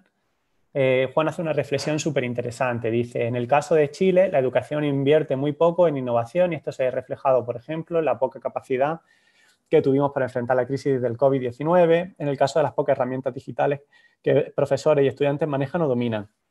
Entonces, por ejemplo, y ahora, vamos a poner, ahora me voy a poner el sombrero como si fuera un estudiante, no como profesor. Me parece súper interesante lo que está diciendo Juan y, quiero eh, destacar y quiero decirle a otros estudiantes que este ha sido un comentario o una anotación que me ha ayudado mucho a entender mejor eh, cosas que vienen en el artículo, aspectos importantes del artículo. Bueno, pues entonces clico aquí y le doy un voto, le doy un voto a, esa, a ese comentario. Eh, en un momento determinado, dependerá del profesor eh, cómo establece la configuración del sistema si ese profesor quiere o prefiere pues dar más crédito a aquellos estudiantes que consiguen más votos. Eso se puede hacer. Eso se puede customizar como vosotros queráis. Se puede personalizar a vuestro, a vuestro antojo. Y ahora os quiero llamar la atención sobre algo que creo que todos estáis viendo aquí en la pantalla, que es, ¿veis que pone aquí calificación? ¿Sí? Pone calificación 1. Voy a irme al ejemplo mío. Aquí veis, aquí me han dado a mí calificación 1. Sin embargo, veis que eh, Bárbara ha hecho una contribución mucho más interesante que la mía, mucho más completa, mucho más elaborada, que demuestra una lectura más atenta y más eh, eh, completa del texto. Con lo cual, veis, ha recibido una calificación de 2. Bueno, ¿esto qué quiere decir? Ahora mismo por defecto el sistema está puesto para que a los diferentes comentarios, anotaciones que vayáis introduciendo, el sistema os da una nota de referencia, un puntaje de referencia. Por defecto viene 0, 1 y 2. Por eso no lo he modificado para no complicar mucho la cosa. Eso se puede poner con el, número, el valor numérico que se os antoje. En este caso, un 2 quiere decir que esa persona sí que ha leído de manera atenta el texto y que ha elaborado un comentario eh, que es eh, rico y que invita a la discusión, etcétera, etcétera, etcétera. En mi caso, habéis visto que mi comentario era más pobre y el sistema solo me ha calificado con uno. Ahora me pongo el sombrero de, profesor. Como profesor, pongamos que eh, mm, yo pienso que esta calificación de, mm, que el sistema le ha dado a, Bárbara eh, es eh, correcto, bueno, pues lo dejo así, no, tengo por qué modificarlo. Pero, por ejemplo, pongamos que pienso que esta calificación que el sistema le ha dado a, Pablo me parece que, que, es demasiado baja. Bueno, yo la puedo alterar en cualquier momento. Además, eh, si hay algo que, sea pues, inapropiado, etcétera, siempre lo puedo marcar como inapropiado. De todas formas, el sistema tiene una serie de elementos automáticos que eh, retiran el comentario y crean una alerta si, por ejemplo, eh, el, comentario que se introduce pues, es una repetición o un copia y pega de otros comentarios que el estudiante ya ha utilizado en este curso o en cursos de Perusa, con lo cual tiene una alerta de plagio en ese sentido sobre eh, comentarios ya, ya realizados. Vamos a ver otro ejemplo antes de pasar al vídeo. Eh, por ejemplo, aquí alguien, Eduardo, veo que ha puesto eh, sobre esta respuesta de, de, Eric, dice, enseño a través de las preguntas para ayudarle a desarrollar modelos mentales y a que extraigan información de ellos. Y aquí Eduardo dice, enseñar a través de preguntas creo que supone una comprensión profunda del profesor de los textos que comparte la pequeña comunidad en la que se transforma la clase. Ese es un comentario muy relevante. Entonces, como considero que es muy relevante, pues yo como estudiante o profesor cliqueo eh, para que eh, quede de manifiesto que, es algo importante que, se ha dicho en, el, texto, algo que debo tener en cuenta. Y el sistema le ha dado la calificación máxima, que es, que es 2, por la longitud de la frase, la variedad del lenguaje que se utiliza, etcétera, etcétera. El algoritmo de Perusal en cada una de las cuatro lenguas que tiene, que es español, eh, neerlandés, francés y, e inglés, lo que hace es medir aspectos de procesamiento de lenguaje natural. Y además, eh, el puntaje final que aparece en el cuaderno de calificaciones tiene en cuenta otra serie de componentes que os voy a enseñar ahora eh, a todos en, un momento. Vamos a ver un último ejemplo en este, en este texto en particular. Eh, por ejemplo, aquí veo que Ivette había comentado sobre qué es la transferencia de información y enseñar, y en clase enseñar por medio de preguntas y proyectos. Aquí dice Ivette, es importante enseñar a los estudiantes estrategias de discriminación y evaluación de la información recopilada de fuente en Internet. Eso es súper importante. Como quiero saber más, pues cliqueo aquí para ver si alguien me aporta algo más sobre este tema. Como veis, de esta forma es muy fácil estar construyendo no solo interacción, sino también pensamiento crítico, al menos facilitar pensamiento crítico de manera colaborativa, en grupo, trabajo en grupo, etcétera, etcétera, etcétera. Al final todo depende del diseño que vosotros hayáis preparado para vuestro curso específicamente. Bueno, como no solo se pueden hacer comentarios y anotaciones de, textos, también de otra de otro tipo de, medios, voy a hacer ahora una tarea eh, con el vídeo de Chimamanda Adichie. Me vengo aquí a editar, veo que esto está perfecto como yo quería, entonces me voy a tareas, creo una nueva tarea. Em, voy al siguiente paso, fecha límite, comentamos, tarea 2 al menos realizar cinco comentarios. Siguiente paso, cinco anotaciones. Y ya está. Ya tengo configurada esta segunda tarea. Así que ahora os invito a todos a que os vayáis al vídeo eh, sobre Chimamanda Adichie y que lo abráis. Bueno, pues eh, al igual que, el sistema funciona pues, con PDF, funciona con HTML, funciona con multitud de formatos, también funciona con vídeo, con YouTube, con, cualquier tipo de vídeo que queráis usar. Bueno, este es un vídeo de una conferencia de eh, Chimamanda Adichie que a mí me gusta especialmente y me parece una reflexión súper interesante eh, que pone en valor la importancia de no tener un pensamiento único, sino que existan varias perspectivas y que se pueda eh, de alguna forma dialogar sobre ellas. Bueno, pues imaginad que estas son las tareas que yo os pido como estudiantes que vosotros completéis antes de la clase, porque la clase vamos a estar debatiendo sobre todos estos aspectos.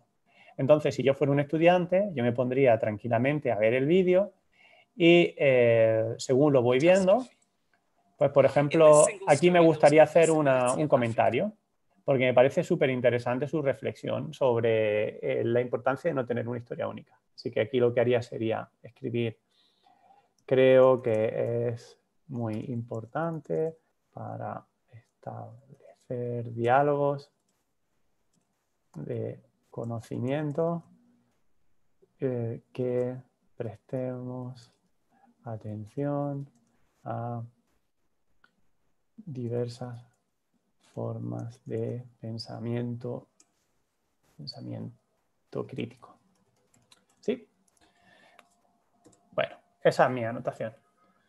Con lo cual, vais a ver que abajo, cada vez que hay una anotación que nosotros realicemos, se va a quedar marcada que ahí he anotado yo o el estudiante que sea. ¿Sí? Con lo cual, podéis jugar también con esto. Podéis poner un poquito el vídeo, voy a dejar un par de minutos, eh, ponéis el vídeo, lo miráis y, eh, y podéis eh, básicamente poner los comentarios que queráis.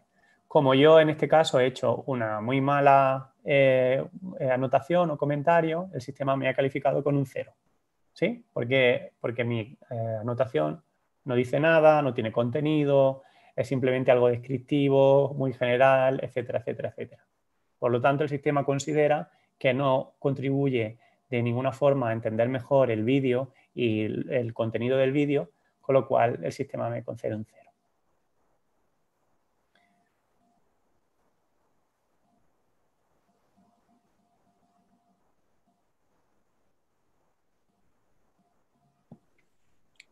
Pablo, ¿puedo hacer una consulta? Sí.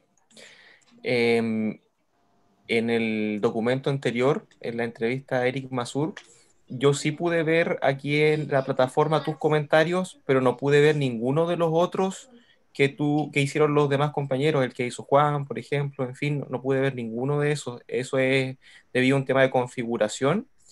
Y lo otro es que eh, me acaba de pasar lo mismo con el tema del video. No, no, veo el comentario que acabas de hacer y sí pude ver tus comentarios en la entrevista a Eric.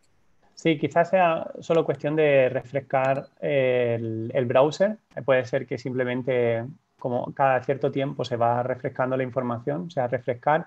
En general también funciona mejor Google Chrome eh, que otra serie de browsers. En principio ninguno debería dar problema, pero es verdad que con Google Chrome eh, el funcionamiento es más óptimo.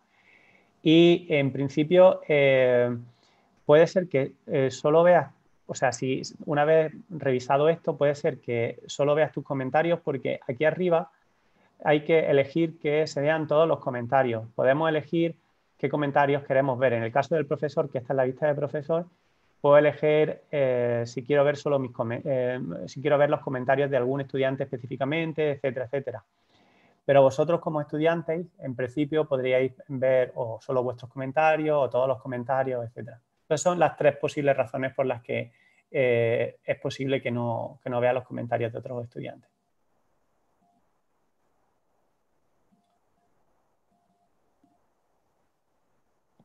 Ya, perfecto. Me da la impresión entonces que es porque estoy usando eh, Safari, porque acabo de actualizar y siguen sin aparecer los comentarios de, los demás compañeros. Solo veo los tuyos y los que pude realizar yo. Mm, puede ser eso o, por alguna cuestión eh, de ese tipo. No tiene mayor importancia. Bueno, pues lo interesante es que según vayáis trabajando las tareas, si sois estudiantes, eh, no solo tenéis por no, no solo tenéis que, digamos, establecer esas conversaciones en, la barra que se abría donde podéis poner vuestros comentarios.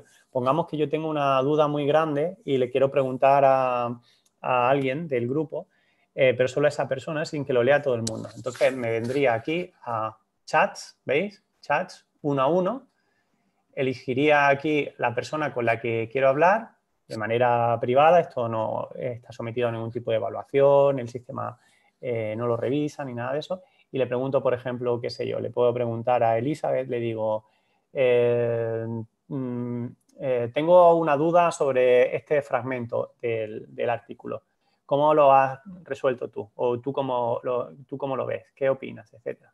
Bueno, pues ese tipo de interacciones también, uno a uno, no necesariamente siendo evaluadas, también se pueden dar. De hecho, incluso se pueden hasta incluir hashtags eh, que en algún momento sistematicen pues, los intereses de lo que los estudiantes han estado trabajando en, esas tareas.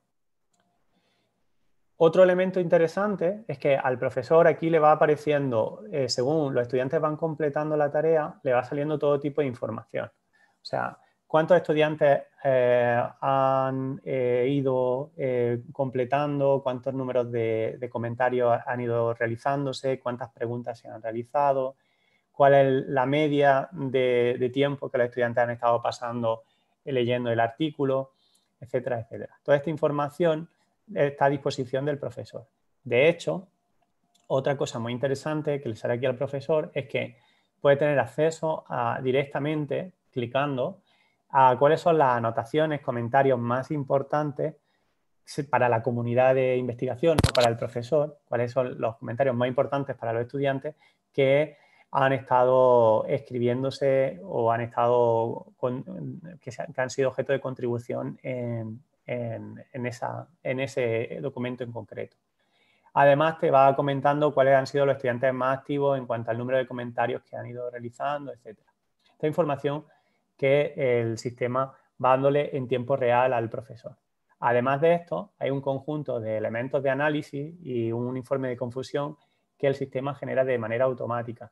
Pero para eso os voy a enseñar otro curso donde ya los estudiantes completaron sus tareas, etcétera, para que podáis un poco ver cómo, cómo funciona.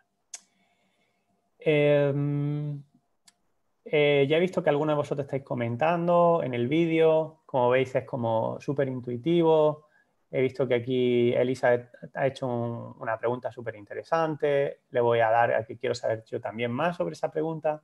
Como veis es todo muy intuitivo. Simplemente se aprende rápido, rápido a cómo manejarse con el interfaz, a cómo utilizarlo, etc. Ahora, nos ponemos de nuevo el sombrero de, profesores. Os voy a enseñar ahora eh, algunas, algunas cuestiones principales o más importantes sobre la configuración de un curso. Algunas funcionalidades que son importantes, ya que habéis visto cómo funciona y cuál es un poco la dinámica que establece. Bueno, pues en primer lugar es muy importante, por supuesto, eh, que le dé un nombre al curso, eh, que esté siempre dentro de, vuestra institución para que podáis tener el apoyo conveniente técnico. Y luego podéis, hay un conjunto de, posibilidades que podéis utilizar. Por ejemplo, hay una funcionalidad que es, por si, queréis ocultar una tarea que no eh, esté disponible para el estudiante en el momento de crearse, podéis elegir qué lengua queréis eh, que el sistema utilice para hacer la eh, calificación automática. Podéis además elegir cuándo queréis que las notas sean entregadas a los estudiantes, o sea, su puntaje sea entregado a los estudiantes. Podéis también customizar y personalizar el, mensaje de bienvenida para, para los estudiantes. Luego, además, en cuanto al acceso, podéis agregar a otros profesores al curso para que ellos también puedan colaborar con vosotros si tenéis asistentes para que ayuden a montar el curso, etcétera, etcétera. Y ahora os voy a enseñar algo que para mí es de lo más interesante. Y es que Perusal funciona tanto para grupos pequeños como para grupos de cientos de personas. Es decir, eh, yo enseño un curso, por ejemplo, que tiene 200 estudiantes. Y esos 200 estudiantes luego los divido en grupos de 20. Bueno, pues gracias a Perusal podría aquí clicar en asignación manual de estudiantes a grupos y os podría ir a cada uno asignando a un grupo distinto. De esta forma, vosotros solo veríais las anotaciones y los comentarios de eh, aquellos estudiantes que están en vuestro grupo.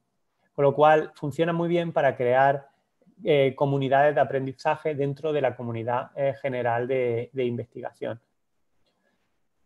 Además, y en esto me voy a detener un poquito, como os comentaba antes, hay una herramienta de calificación automática que nunca debe ser la calificación del curso, sino simplemente es una nota orientativa, una calificación orientativa para que los estudiantes sepan cómo lo están haciendo y para que puedan mejorar. Eh, eh, todo ese sistema de calificación automática se gestiona aquí. Entonces hay dos tipos de, calificación, una que es solo de contenido, la normal, y la otra que es la holística. dependiendo de qué eh, tipo de calificación eh, vaya a usar, pues tenéis que elegir un modelo u otro. Eh, aquí hay muchísimas variables. No voy a entrar en, grandes detalles porque si no puede ser muy complejo para vosotros. Pero en general, para un, digamos, uso principiante, que puede ser que vosotros necesitéis ahora de Perusa, yo siempre elegiría la anotación de contenido tan solo.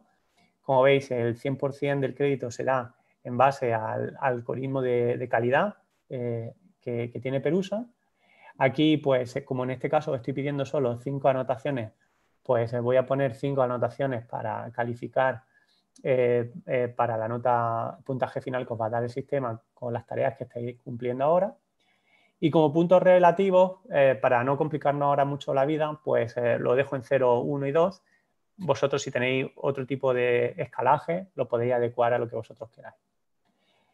Y em, además hay otro tipo de opciones, como por ejemplo, si eh, le quiero dar crédito a los estudiantes que le quiero dar un puntaje, a los estudiantes que eh, realizan todos los comentarios fuera de la fecha límite, etcétera, etcétera. Incluso puedo penalizar eso si, si yo quisiera.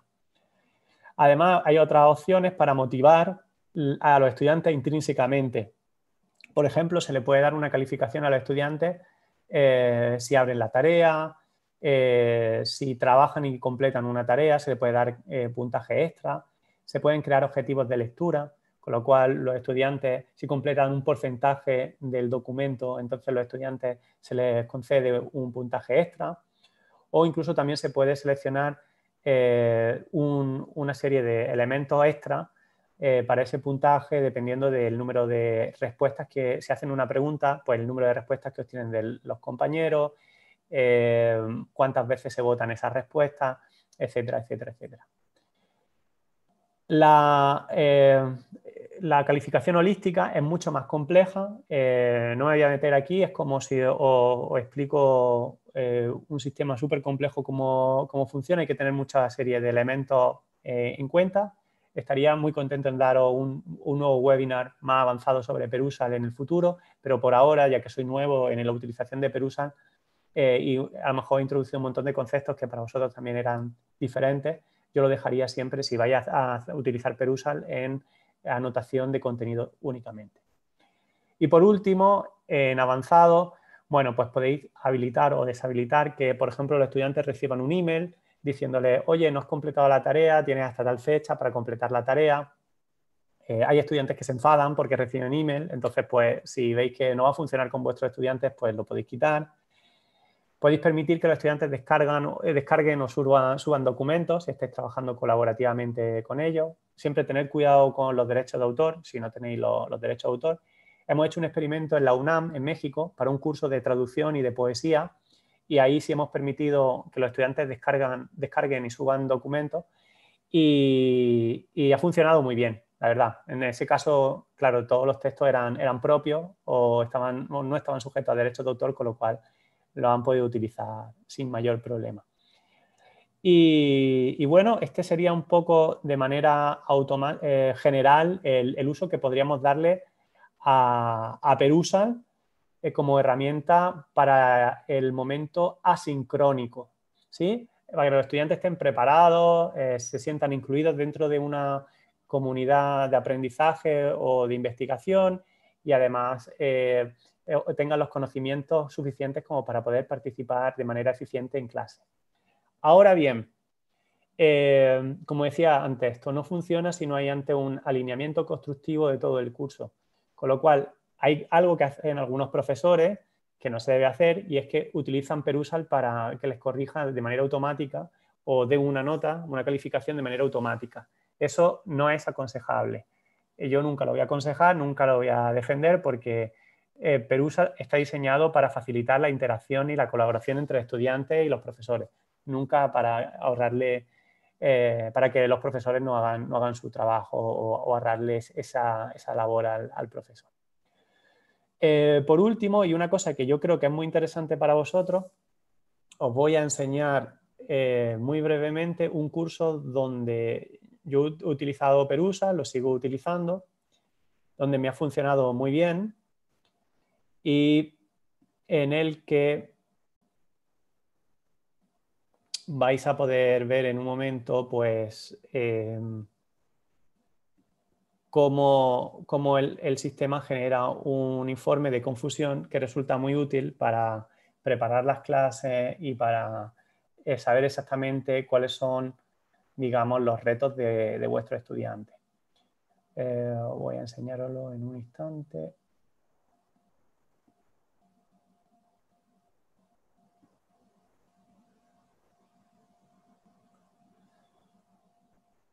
Bueno, voy a compartir con vosotros. Yo creo que todo el mundo lo está viendo, ¿sí? Eh, esto, lo que quiero compartir.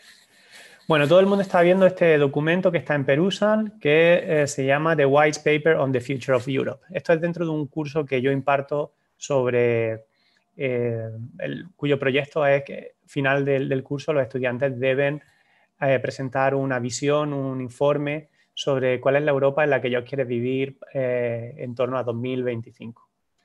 Los estudiantes han estado trabajando en el texto y como veis se produce muchísima interacción.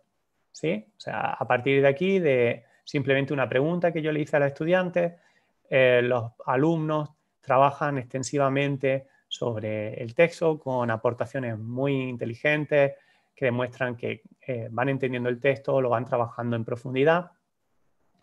Y eh, aquí esto produce todo un conjunto de informaciones que son muy útiles para el profesor. Eh, en este caso, en, este curso en particular, eh, pues algo que a, mí me ayudaba mucho era el informe de confusión que está aquí. Imaginad que, igual que hemos estado antes trabajando todos juntos, esto sería como se vería un curso después de la fecha límite, una tarea después de la fecha límite. Entonces, a mí me resultaba muy útil el informe de confusión. ¿Por qué? Porque podía ir de manera quirúrgica, estratégica, a aquellas preguntas clave, a aquellos comentarios clave, a aquellos temas que le habían interesado especialmente a mi estudiante. Es decir, cuando yo empiezo la clase, el momento sincrónico, no lo empiezo desde la perspectiva de lo que yo pienso que los estudiantes deben conocer, sino de lo que yo veo que los estudiantes están interesados, veo cuáles son las competencias que se pueden trabajar a partir de sus interacciones en el sistema y planteo la clase a través de un conjunto de actividades que incluyen juegos de rol, que incluyen debates, que incluyen presentaciones, que incluye otra serie de actividades de trabajo en equipo, de análisis de casos de estudio, a partir de las propias preguntas de los, estudiantes. Con lo cual, por ejemplo, aquí en este caso, eh, este estudiante hizo una pregunta súper interesante que luego nos sirvió para poder plantear la, siguiente sesión a partir de, esta pregunta. Estuvimos trabajando sobre todo una serie de temas relacionados como eh, la construcción de, narrativas que permitan eh, la movilización social, etcétera, etcétera, etcétera. En cuanto al cuaderno de calificaciones, yo en este caso eh, tenía a, mis estudiantes que podían obtener hasta un 14 de, nota, por una cuestión de, yo lo puse así, ese escalaje, se puede hacer como queráis, y aquí el sistema os dice el porqué, os explica el porqué de, esa, de ese puntaje que ha recibido el estudiante. En este caso, aquí tenía una estudiante muy buena que hizo 11 anotaciones, la calidad promedio de sus 7 mejores anotaciones, que eran las que yo le había puesto al estudiante en este curso, que tenían que hacer 7 anotaciones, pues estaba en, en un 2. Eso, según el sistema, demuestra una lectura comprensiva y bien pensada y una interpretación perspicaz de la lectura si hubiera escrito un comentario medio peor, pues entonces el sistema me diría que el 1 equivale a que demuestra que ha leído o solo superficialmente, pero sin una interpretación de la lectura, o el 0 cuando no se demuestra lectura ni interpretación. Como veis, lo bueno de Perusal es que nos ayuda a poder desarrollar las competencias, por un lado, de creatividad, por otro lado, de eh, trabajo en equipo, por otro lado de pensamiento crítico y sobre todo ayuda a que los estudiantes desarrollen su propia motivación. ¿Cuál fue el resultado de, por ejemplo, utilizar Perusal en este curso?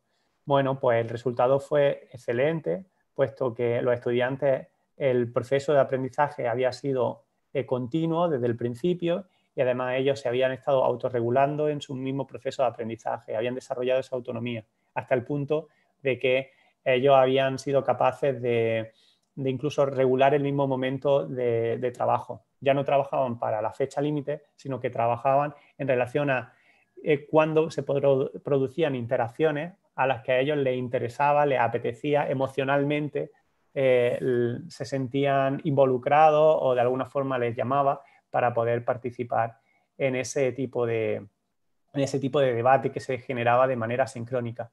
Y luego lo que yo hacía era hacer un resumen, realizar un resumen de los puntos, de los temas más importantes de lo que había estado pensando en Perusa de manera sincrónica y eso lo llevábamos a clase, con lo cual se reforzaban las competencias y el aprendizaje del estudiante. Este es un curso que yo diseñé desde la perspectiva de lo que se llama la co-creación. Los estudiantes elegían, ellos mismos co-creaban cuáles eran los contenidos del propio curso eh, a través de una serie de actividades en clase con lo cual eh, permite que esos estudiantes pues, puedan ser más autónomos, desarrollen todas las competencias que antes comentábamos. Entre otras, desarrollar muy buenas competencias para navegar, eh, acceder y utilizar información, sobre todo en este momento en el que vivimos, en el que es tan sumamente importante.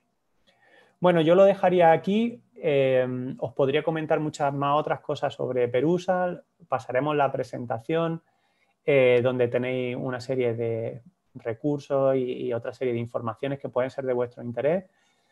Insisto, y con esto ya me callo, es muy importante que penséis muy bien el diseño de vuestro curso. Nunca utilicéis Perusal de una manera eh, inadecuada y siempre cuando estéis diseñando un curso en el que vaya a utilizar Perusal, pensad en esa, digamos, esa tríada que yo os mostraba de eh, la clase invertida junto con instrucción de pares y perusan. Y así de esa forma combináis y le dais un sentido al momento sincrónico y asincrónico y además combináis y eh, equilibráis muy bien pues todos los componentes de vuestro curso. Perusal es una herramienta, no es un fin en sí mismo. Y Perusal no se puede ni se debe nunca jamás utilizar para calificación automática. Es una, es una herramienta que os da la información que normalmente tenéis al terminar de la clase, Perusal os la da antes de la clase. Con lo cual, si está bien utilizada, tanto por los profesores como los alumnos, los seminarios eh, o las clases que, con las actividades que vosotros eh, hayáis previsto van a ser extremadamente enriquecedoras y liberadoras. A mí me ha llegado a pasar de estudiantes que me han dicho, no queremos descanso y no queremos eh, que termine la clase porque nos lo estamos pasando genial.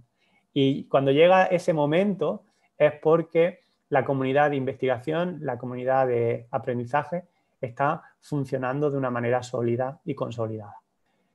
Abro tiempo para preguntas, cualquier cosa, duda que tengáis, estoy aquí a vuestra entera disposición. Eh, Pablo, eh, me presento, soy Bárbara Clet, de estudiante del doctorado. Eh, yo he estado interviniendo en, el ejercicio de partida, de decirte que encuentro maravilloso Perusal, realmente me parece increíble. Y, un poco tomando lo que tú dijiste, es que es solo una herramienta, no, solo no en forma peyorativa, me refiero a que es una herramienta y detrás de ello, ¿no es cierto?, hay, hay, otros, hay otros aspectos fundamentales.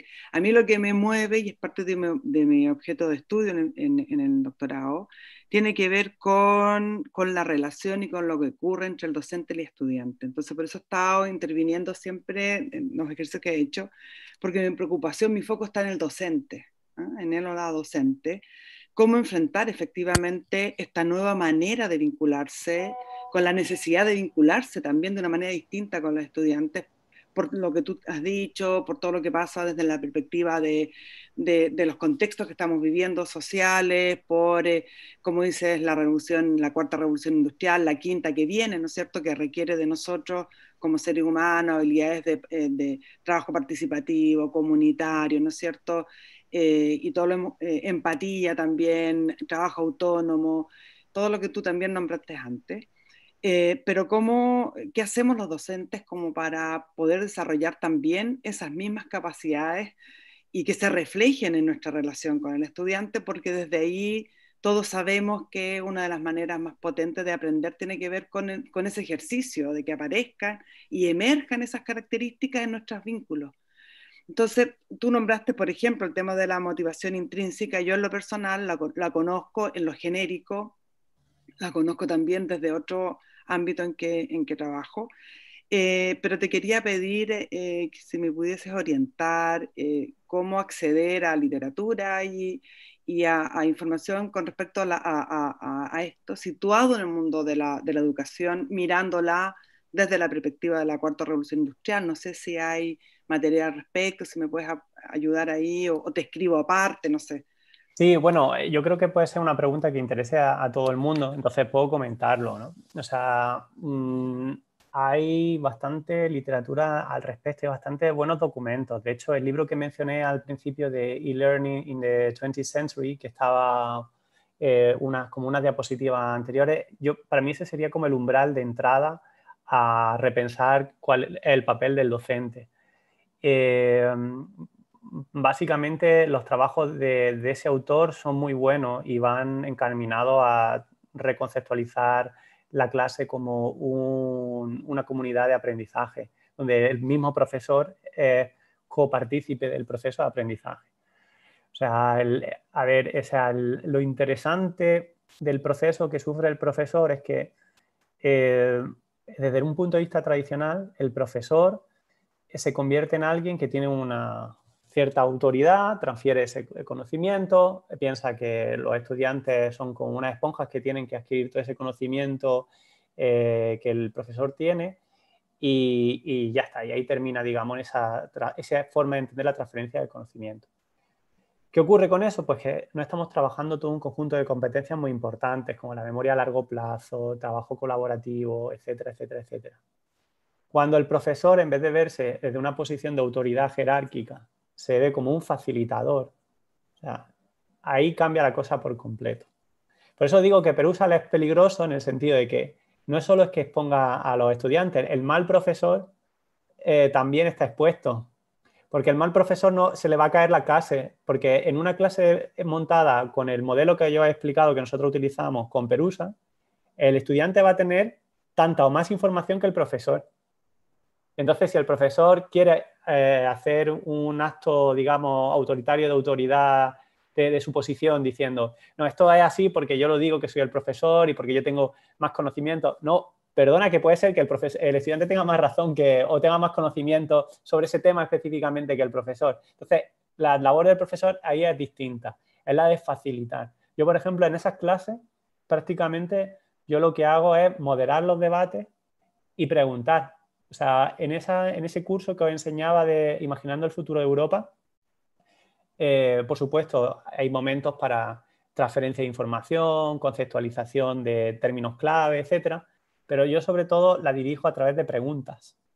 Entonces, eso requiere, eh, por un lado, un componente de ego por parte del profesor muy importante, de eh, se acaba que tú eres el centro de la clase, y por otro lado, muy importante saber cómo adquirir técnicas para facilitar eh, que la comunidad de aprendizaje esté activa, se sientan todos los miembros incluidos y luego además eh, se realice todo de una forma creativa. Entonces, especialmente las estrategias que formula Randy Garrison, que es quizás uno de los autores más conocidos, ese libro que yo comentaba, pues se pueden llevar muy fácilmente a clase. O sea, se pueden llevar muy fácilmente a clase. Por ejemplo, pues lo que yo os comentaba antes, para empezar una clase no la empezáis desde el punto de vista del profesor, sino la empezáis desde el punto de vista de los estudiantes.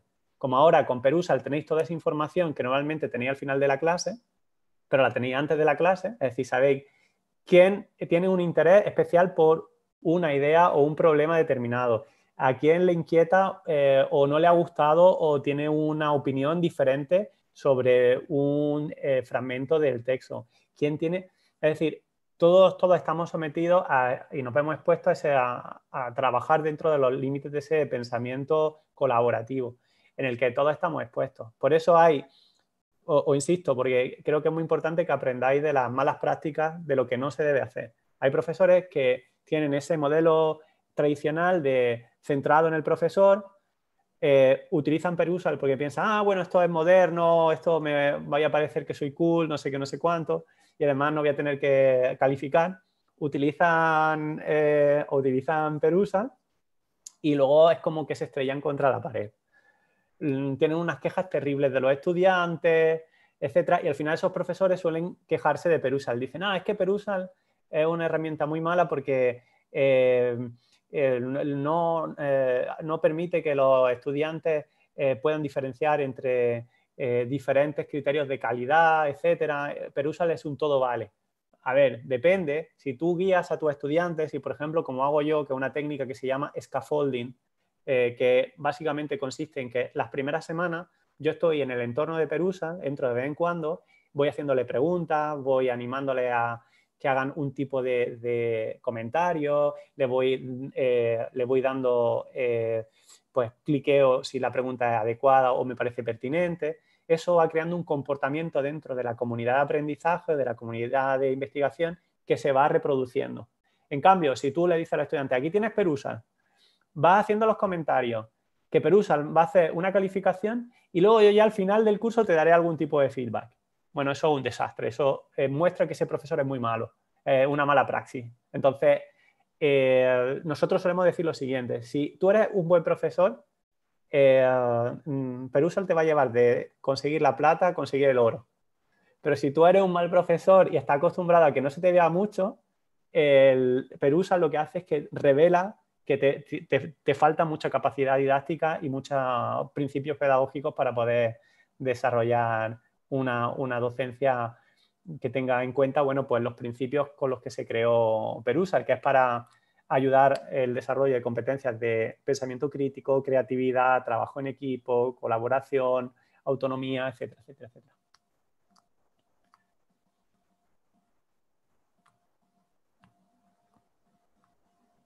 ¿Más preguntas o comentarios? Eh, Pablo, dos preguntas por acá. Eh, había una que me pareció muy interesante en el chat, no sé si está, la, si está el, compañero que la, propuso, eh, pero la repito porque me parece muy interesante. ¿Hay alguna posibilidad de incorporar Perusal dentro de las herramientas de la plataforma Moodle, que ya están bastante utilización en, muchas universidades, con el fin, digamos, de no tener una repartición excesiva de distintas eh, herramientas. Y la otra pregunta es eh, si, si se ha visualizado el uso de Perusal para trabajar con equipos de investigación, ah, sobre todo con pequeñas comunidades, pienso en comunidades de, de, posgrado. Yo mismo tengo que hacer un ejercicio ahora en una clase para, para, una, para una maestría, donde me interesa socializar un corpus que es más o menos extenso, de unas 120 entrevistas, y discutir en torno a ellas con los estudiantes de esta, de esta maestría, ah, que ya no sería una suerte de, lectura guiada de un material propiamente tal, donde se ve la comprensión del mismo, sino donde se aflora todo el tema de la construcción de nodos críticos de investigación o de categorías comunes o de cómo discutirlas, en fin, si, se ha visualizado eso, me interesaría saber. Gracias. Muchas gracias. Son dos buenas preguntas. La primera, eh, la respuesta es que sí, o sea, eh, Perusal eh, tiene integración con todas las plataformas que existen. Bien sea porque ya la plataforma, perdón, ya el, entorno educativo virtual trae una, una, funcionalidad para integración. Eso hay en algunos casos, por ejemplo, Blackboard. Es muy fácil la integración porque trae directamente una funcionalidad entonces, simplemente tú, cuando estás diseñando tu curso de Blackboard, eh, te vas a, las tools, a las herramientas, dices, quiero integrar la eh, plataforma Perusal con el entorno virtual de docencia y está todo conectado. De hecho, las calificaciones que aparecen en Perusal se envían de manera automática al centro de calificaciones de Blackboard. Entonces, eso sucede con Canvas, con Blackboard, eh, con Minerva, con un montón de plataformas. En el caso de Moodle, eh, sí, existe la posibilidad de integrarlo a través de un vínculo eh, API. O sea, básicamente es un, trozo de código que se inserta y de esa forma tú directamente puedes acceder a, Perusal desde, desde Moodle. O sea, eso, eso existe. Sobre la segunda pregunta, tenemos muchísima experiencia sobre eso. O sea, como decía antes, eh, Perusal tanto sirve para clases de 300 personas como para clases de o grupos de trabajo o club de lectura o incluso si estás trabajando en un tema con, un equipo de investigación. Entonces, por ejemplo, tenemos experiencia que es muy notablemente en las maestrías de investigación, pero funciona súper bien. O sea, el feedback que tenemos de los estudiantes en las maestrías de investigación es de que les encanta Perusal porque les permite a todos de manera colaborativa trabajar en torno a sus proyectos de investigación. Entonces, los documentos que van subiendo son los propios borradores de, su, de, sus proyectos de investigación y los van trabajando y van obteniendo feedback eh, de manera de instrucción por pares con, sus estudiantes. También lo que tú dices es una opción y de hecho en la UNAM, con el proyecto que tengo allí con ellos, lo hemos hecho con, el tema también de las traducciones, en el que había pues, un conjunto de traducciones sobre un mismo texto eh, y lo que se hacía era que estudiantes de maestría iban eh, pues trabajando, dando, haciendo comentarios, etcétera, sobre cada una de las versiones de esa traducción. Y al mismo tiempo creando una traducción, un documento nuevo mucho más, eh, digamos, mm, consensuado por todos ellos, refinado, etcétera, etcétera, etcétera. O sea, las posibilidades que podéis imaginar con Pelusa son casi infinitas a nivel de cómo os libera para ser creativos. O sea, que quieres organizar una clase para 20 estudiantes a nivel de maestría que estén trabajando sobre entrevistas, lo puedes hacer sin ningún tipo de problema. O sea, bien mm, lo puedes hacer como un club de, lectura, bien lo puedes hacer simplemente como un curso y, simplemente deshabilitar la, calificación. No, tienes por qué utilizar el sistema de calificación automática. Simplemente puedes decir que es un test eh, para, profesores o establecerlo de la manera que tú quieras. Se puede personalizar como queráis. Más preguntas. Pablo, buenas tardes. Eh, soy Rubén, ¿cómo estás? Hola, ¿qué tal? Eh, gracias por esta presentación, eh, me ha gustado mucho y bueno, ya había asistido a la que dio Eric Masur a principios de año, eh, pero le agradezco muchísimo porque ahora las cosas me quedan un poco más, más claras. Solo querría dedicar un minuto a contar un breve testimonio para reforzar lo que, lo que has dicho. Este, este semestre hemos tenido, he tenido un, curso con Carlos también y en el que he puesto en práctica justamente esta forma de darles a los alumnos lecturas previas, audios previos y obligarles a que eh, postearan en un foro un breve resumen o dos ideas eh, más destacadas de lo que ellos habían leído y un par de preguntas, sobre todo con sus dudas, con aquello que realmente no habían entendido. Y a partir de ahí yo preparaba la clase recogiendo todas sus preguntas, agrupándolas por temas y después la clase era simplemente ir resolviendo las dudas que ellos mismos habían planteado. Y por lo que he visto, les ha gustado mucho a los alumnos esa, esa forma. Así que nada más que eso, reforzarlo, que se puede hacer y que Perusa le ayuda muchísimo más a eso. Sí, estoy totalmente de acuerdo. O sea, eh, lo que está diciendo Rubén es que me parece súper importante y, eh, mm, quiero destacarlo muy especialmente porque, o sea, eh, hay veces que nos obsesionamos con la tecnología, ¿no? Es que si no tenemos esta tecnología que es súper cara, etcétera, entonces no podemos desarrollar los conceptos pedagógicos que pensamos que nuestros estudiantes pueden eh, desarrollar para obtener eh, una serie de competencias. Eh, pero realmente el principio debe ser otro. El principio debe ser, por ejemplo, lo que está explicando Rubén. O sea, es tan básico como un método socrático en el que tú te basas en tu clase en escuchar a tu estudiante. En vez de tú estar asumiendo la centralidad de la clase, la centralidad no la tiene ni siquiera una persona, la tiene la clase, es un colectivo.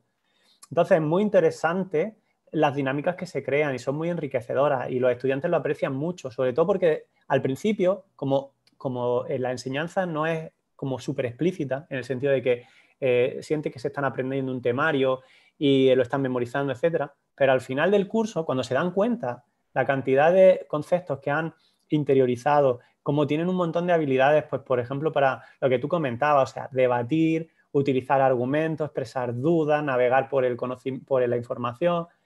Claro, eso eh, le, empodera a los estudiantes para que ellos puedan eh, desarrollar pues, un perfil no solo profesional, sino también como ciudadanos muchísimo más, más rico. En ese sentido, ¿qué es lo que tiene Perusal? Es que todas estas cosas que quizás todos estábamos haciendo casi con nuestro propio sentido común o estábamos haciendo pues simplemente con un documento de Google o cosas así, lo que tiene Perusal es que tienes toda la información al alcance de tu mano en un clic. Y así de esa forma puede ser mucho más efectivo. Yo, por ejemplo, he tenido estudiantes, no todos los estudiantes tienen el mismo nivel, es normal, hay diferencias culturales, si tenéis una clase multiculturalmente, muy variada. Bueno, yo he tenido estudiantes que de repente veo que se están desenganchando un poco de la comunidad de aprendizaje ¿Qué hago? Bueno, pues que yo ya tengo la información para simplemente, con una, no se trata ni de regañar, ni de señalar, ni nada, sino decirle a ese estudiante, ¿qué te pasa? ¿Te puedo ayudar? ¿Cómo puedo apoyarte? Entonces, me ha, me ha pasado casos de estudiantes que al principio estaban muy desenganchados, que a lo mejor simplemente tenían un problema personal y que tú interesándote por, por, ese estudiante, porque además tienes la información para poder interesarte por ese estudiante, pues eh, consigue volver a, engancharlo en el curso y terminan pues disfrutando, pasándoselo bien y además aprendiendo muchísimo. Con lo cual, Perusal no es, eh, digamos, algo radicalmente nuevo, está basado en conceptos que muchos de nosotros estábamos aplicando en nuestra docencia de manera continua. Simplemente te lleva un nivel más allá.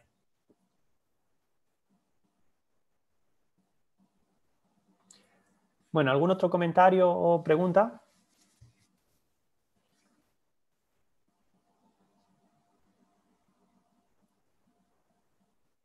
Bueno, pues si no tenéis otros comentarios o preguntas, eh, le pasaré a Carlos la, presentación para que la pueda distribuir. Eh, revisaré que, estén vuestras respuestas ahí, porque esta es una presentación que comparto con otros colegas y, se ve que el Mintimeter eh, estaba, cambiado, pero ahí tenéis acceso a las entrevistas de Eric Masur y sobre todo recomendaría mucho que vieseis algunos de sus vídeos. Él es un excelente comunicador y fue el pionero en empezar a hablar de instrucción por pares y a desarrollar esos métodos en los años 70.